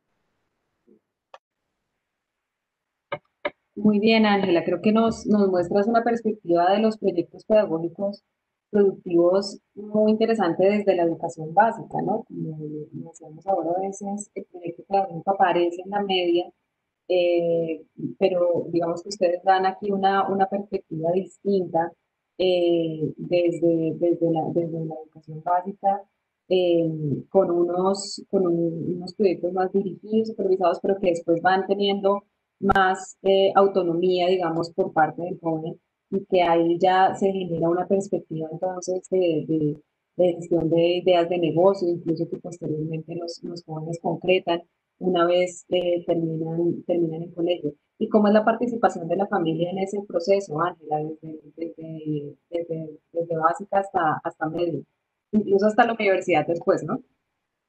Claro que sí, no, la es toda. Realmente la familia para nosotros es un actor importantísimo en el proceso de formación de los estudiantes. La familia, desde su cultura, desde lo que hace en su día a día, en su cotidianidad, pues trae unas experiencias muy importantes que pueden vincularse a ese desarrollo de competencias de los estudiantes. Entonces, como ellos también aportan sus conocimientos empíricos a ese saber que los estudiantes vienen adquiriendo a través de su paso por, los, por el sistema educativo, pero además cómo complementan también esa parte cultural que es tan importante y que construye la identidad del estudiante desde su territorio, desde lo que es en sí, pues su entorno y su contexto. Entonces, la familia es actor fundamental precisamente en eso, en esa retroalimentación que hace en el trabajo que el estudiante construye con sus estudiantes, con sus docentes, perdón, con sus maestros, pero que se fortalece desde, esa, desde ese conocimiento empírico que la familia le aporta y desde todos esos valores y desde todo ese componente cultural que es tan importante. Sí, perfecto. Y cómo, la, cómo el aprendizaje también se hace significativo cuando la familia con ese, con ese saber también empírico puede enriquecer el aprendizaje del mismo, del mismo joven, ¿no? Porque hay, hay una muy buena posibilidad de enriquecer la experiencia y el aprendizaje a través de los proyectos pedagógicos productivos. Bueno, Aquí hay algo muy importante, Olga, y es que en ese diálogo de saberes en los que se empieza a fomentar una, una muy buena relación, muy participativa de toda la familia, alrededor de un proyecto pedagógico productivo, que eso es lo que hace realmente un proyecto pedagógico productivo, une, integra, permite ese compartir de experiencias, de saberes, se dan también de alguna manera transferencias de, de conocimientos. Entonces, como yo, como, como niño, como niña, como joven, escucho a mi padre desde lo que ha venido y desde lo que ha hecho durante toda su vida, pero como también él, él escucha lo que yo puedo contarle, lo que yo puedo innovar en lo que él viene haciendo, desde las prácticas que él viene desarrollando eh, en, pues en mi hogar, ¿cierto? En mis prácticas productivas. Y se vuelve bien interesante ese compartir de experiencias. Y también, por supuesto, muy enriquecedor. De acuerdo. De acuerdo, Ángela. Bueno, yo creo que eh, ha sido una, una, conversación muy interesante alrededor de, de, del currículo de la media técnica agropecuaria. Yo creo que hemos abordado diferentes aspectos desde la formación de los docentes, desde lo que implica la estructura del currículo, eh, desde la evaluación, la, la, la, participación de las familias en el aprendizaje, los proyectos pedagógicos productivos son todos estos eh, temas clave para abordar la educación rural y los currículos en la media técnica agropecuaria, que es el tema que nos convoca el día de hoy. Tenemos varias preguntas en, en el chat eh, y, quisiera empezar por eh, una pregunta que nos hacen de cómo, cómo, cómo llevar a cabo la flexibilización curricular para evitar la deserción escolar en la media técnica agropecuaria. Creo que aquí varios hablamos, varios hablamos de la, de la, la necesidad de flexibilizar el currículo en la media. Y aquí me gustaría pues, que eh, Mónica, Andrés Felipe, Ángela, nos apoyaran eh, con esta respuesta de cómo hacer realidad entonces esta flexibilización curricular en la, en la, en la media técnica agropecuaria. ¿Cuáles son las estrategias que podemos desarrollar? No sé quién quisiera empezar con la respuesta. Bueno, empiezo, empiezo yo. Dale. Eh, yo, yo diría, como insistir, como en, como en tres elementos. O sea, lo primero, la, la necesidad de que, mm, llamémoslo, la redimensión curricular o la revisión curricular sea una dinámica permanente que asumen las, las comunidades educativas, que asumen las comunidades de docentes y de estudiantes em, eh, como, un, como un ejercicio permanente de, de acción, reflexión, acción. Es decir, de, de, no asumir, digamos, como algo dado eh, el plan de estudios o las asignaturas, sino asumirlas como un proyecto en, en permanente revisión. Pero digamos, eso, eso suena bonito, pero implica eh, generar comunidades de aprendizaje, tener el tiempo, eh, sacar los espacios para poder hacer esas evaluaciones, revisiones, miradas, construcciones y dialogar con lo que hay, lo que se ha hecho en media técnica agropecuaria, lo que hicimos en la Salle con, con estas regiones, lo tiene el ministerio, hay unos lineamientos, hay unos estudios en esos diálogos en acción, reflexión, acción.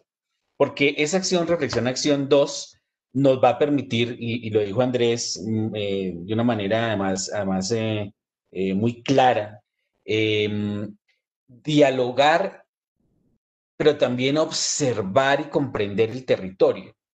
Y creo que ahí hay una, una, competencia incluso docente, ¿no? De la capacidad de leer el contexto, de, de leerlo y de interpretarlo, de comprenderlo, de asumirlo, de comprender mm, también las expectativas, las lógicas, las necesidades de los jóvenes, pero también comprender las dinámicas mmm, socioproductivas, ecosistémicas del territorio. Entonces, una evaluación permanente de lo curricular, con una lectura, con una lectura eh, comprensiva de los jóvenes, de sus contextos, del territorio, pues va a permitir una, una formulación, eh, eh, digamos, una formulación sistémica, digamos, articula, sistémica es articulada a las búsquedas nacionales, articulada a los proyectos educativos institucionales o comunitarios, eh, pero también que se traduce en acciones, en acciones concretas que dan, que, que, que, ofrecen a los jóvenes distintas alternativas. Yo, insisto en que eh, la media técnica agropecuaria, digamos, dándole ese apellido agropecuario, lo agropecuario tiene unas inmensas posibilidades de diálogos interdisciplinarios. El agropecuario no se agota en la producción, no se agota ahí. Tiene un gran componente en la producción, sin duda, sin duda, y ya repito las cifras, digamos, de lo que este país tiene como retos frente a soberanía alimentaria y frente a seguridad alimentaria. Eh, y, y, y, frente a la fragilidad y debilidad eh, eh, y el poco número, por ejemplo, de, forma, de, de, de personas que siguen formaciones postsecundarias en las áreas agropecuarias, pero no se agota ahí. Entonces creo que esa flexibilidad también debe permitir esos diálogos con lo ambiental, con lo social, con lo cultural, eh, de tal manera que las comunidades puedan mm, articular propuestas ya de planes de estudio en espacios concretos, eh, con denominaciones, con horas, hacerle seguimiento riguroso, estrategias, habilidad, eh, incorporar mm, eh, proyectos productivos. O sea, ya irnos a apostar por unas propuestas curriculares, desarrollarlas y evaluarlas permanentemente y vuelve y juega el ciclo, ¿no? Reflexión o acción, reflexión, acción, lectura permanente del contexto, lectura de nuestros jóvenes y propuestas serias, propuestas serias, validadas, que se van implementando y que ojalá generen sostenibilidad institucional, ¿no?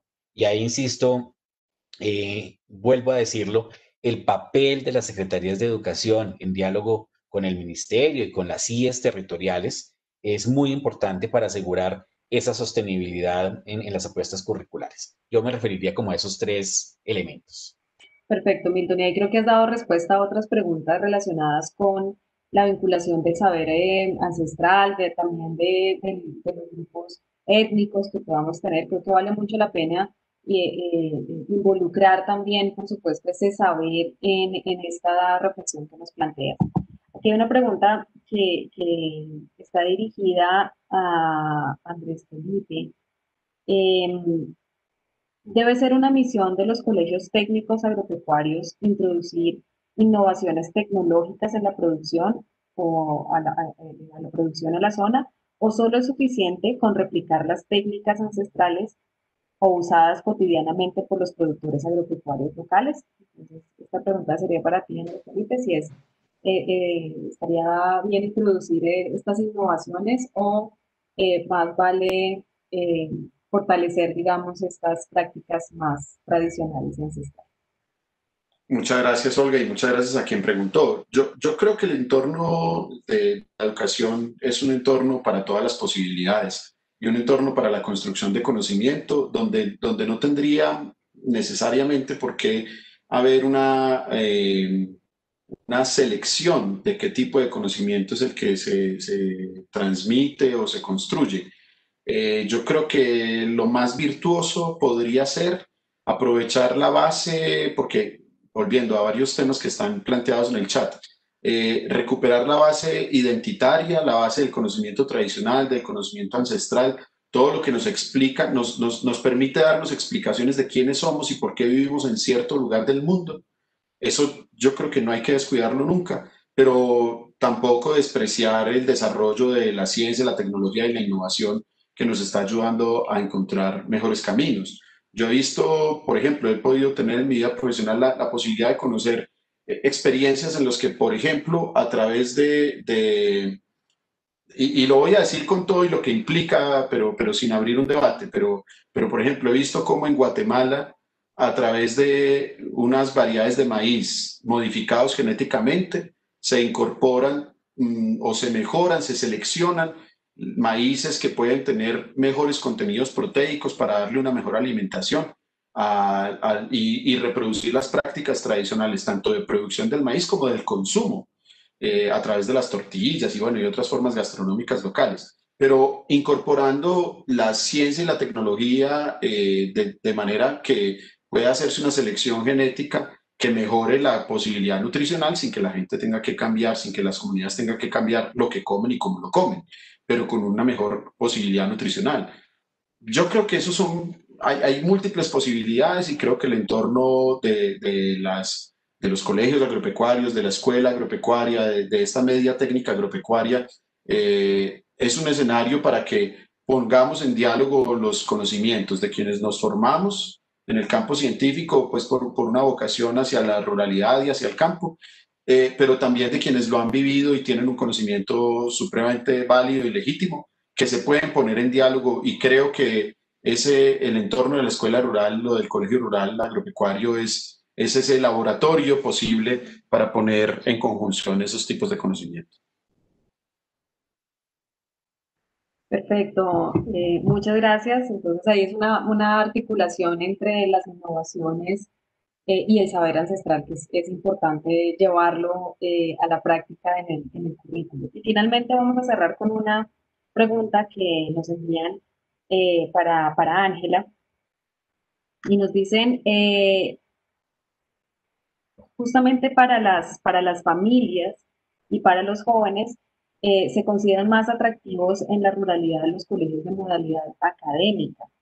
¿Qué debe hacer un colegio para que esta oferta agropecuaria se vuelva atractiva tanto para las familias como para los jóvenes? ustedes ahí han tenido una experiencia que nos pueden compartir y cómo las medias técnicas agropecuarias siguen siendo, eh, podemos, podemos hacer para que sigan siendo atractivas, vigentes, de interés tanto para las familias como para los jóvenes.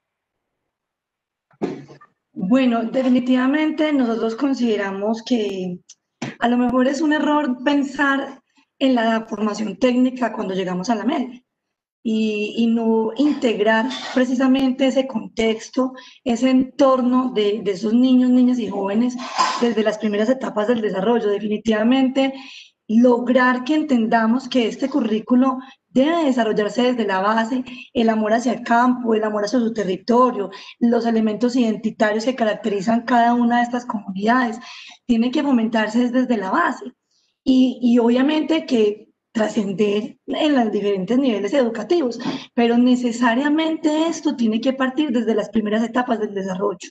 Si hacemos desde allí el trabajo con los niños y las niñas, muy seguramente vamos a tener jóvenes empoderados, que conocen sus realidades, que conocen sus territorios, que saben el valor que tienen, todo lo que pueden generar a partir de él, cómo pueden desarrollar sus proyectos para la vida a partir de él, pero es desde allá, desde que son pequeños, desde que están empezando sus, primeros, sus primeras edades. Entonces, necesariamente sí tiene que existir una articulación desde los diferentes niveles educativos que permitan unas trayectorias educativas completas, que fortalezcan esas competencias, que permitan, por supuesto, integrar el contexto al currículo educativo, pero además generar un aprendizaje que sea para también ese contexto en el que se está formando el estudiante.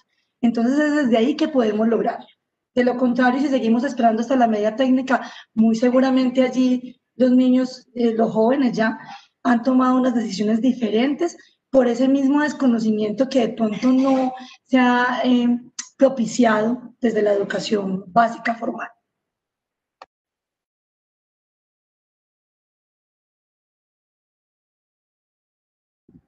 Bueno, muchas gracias, muchas gracias, eh, profesora Ángela. Eh, Olga, ¿quieres, ¿quieres cerrar con, con, con algo?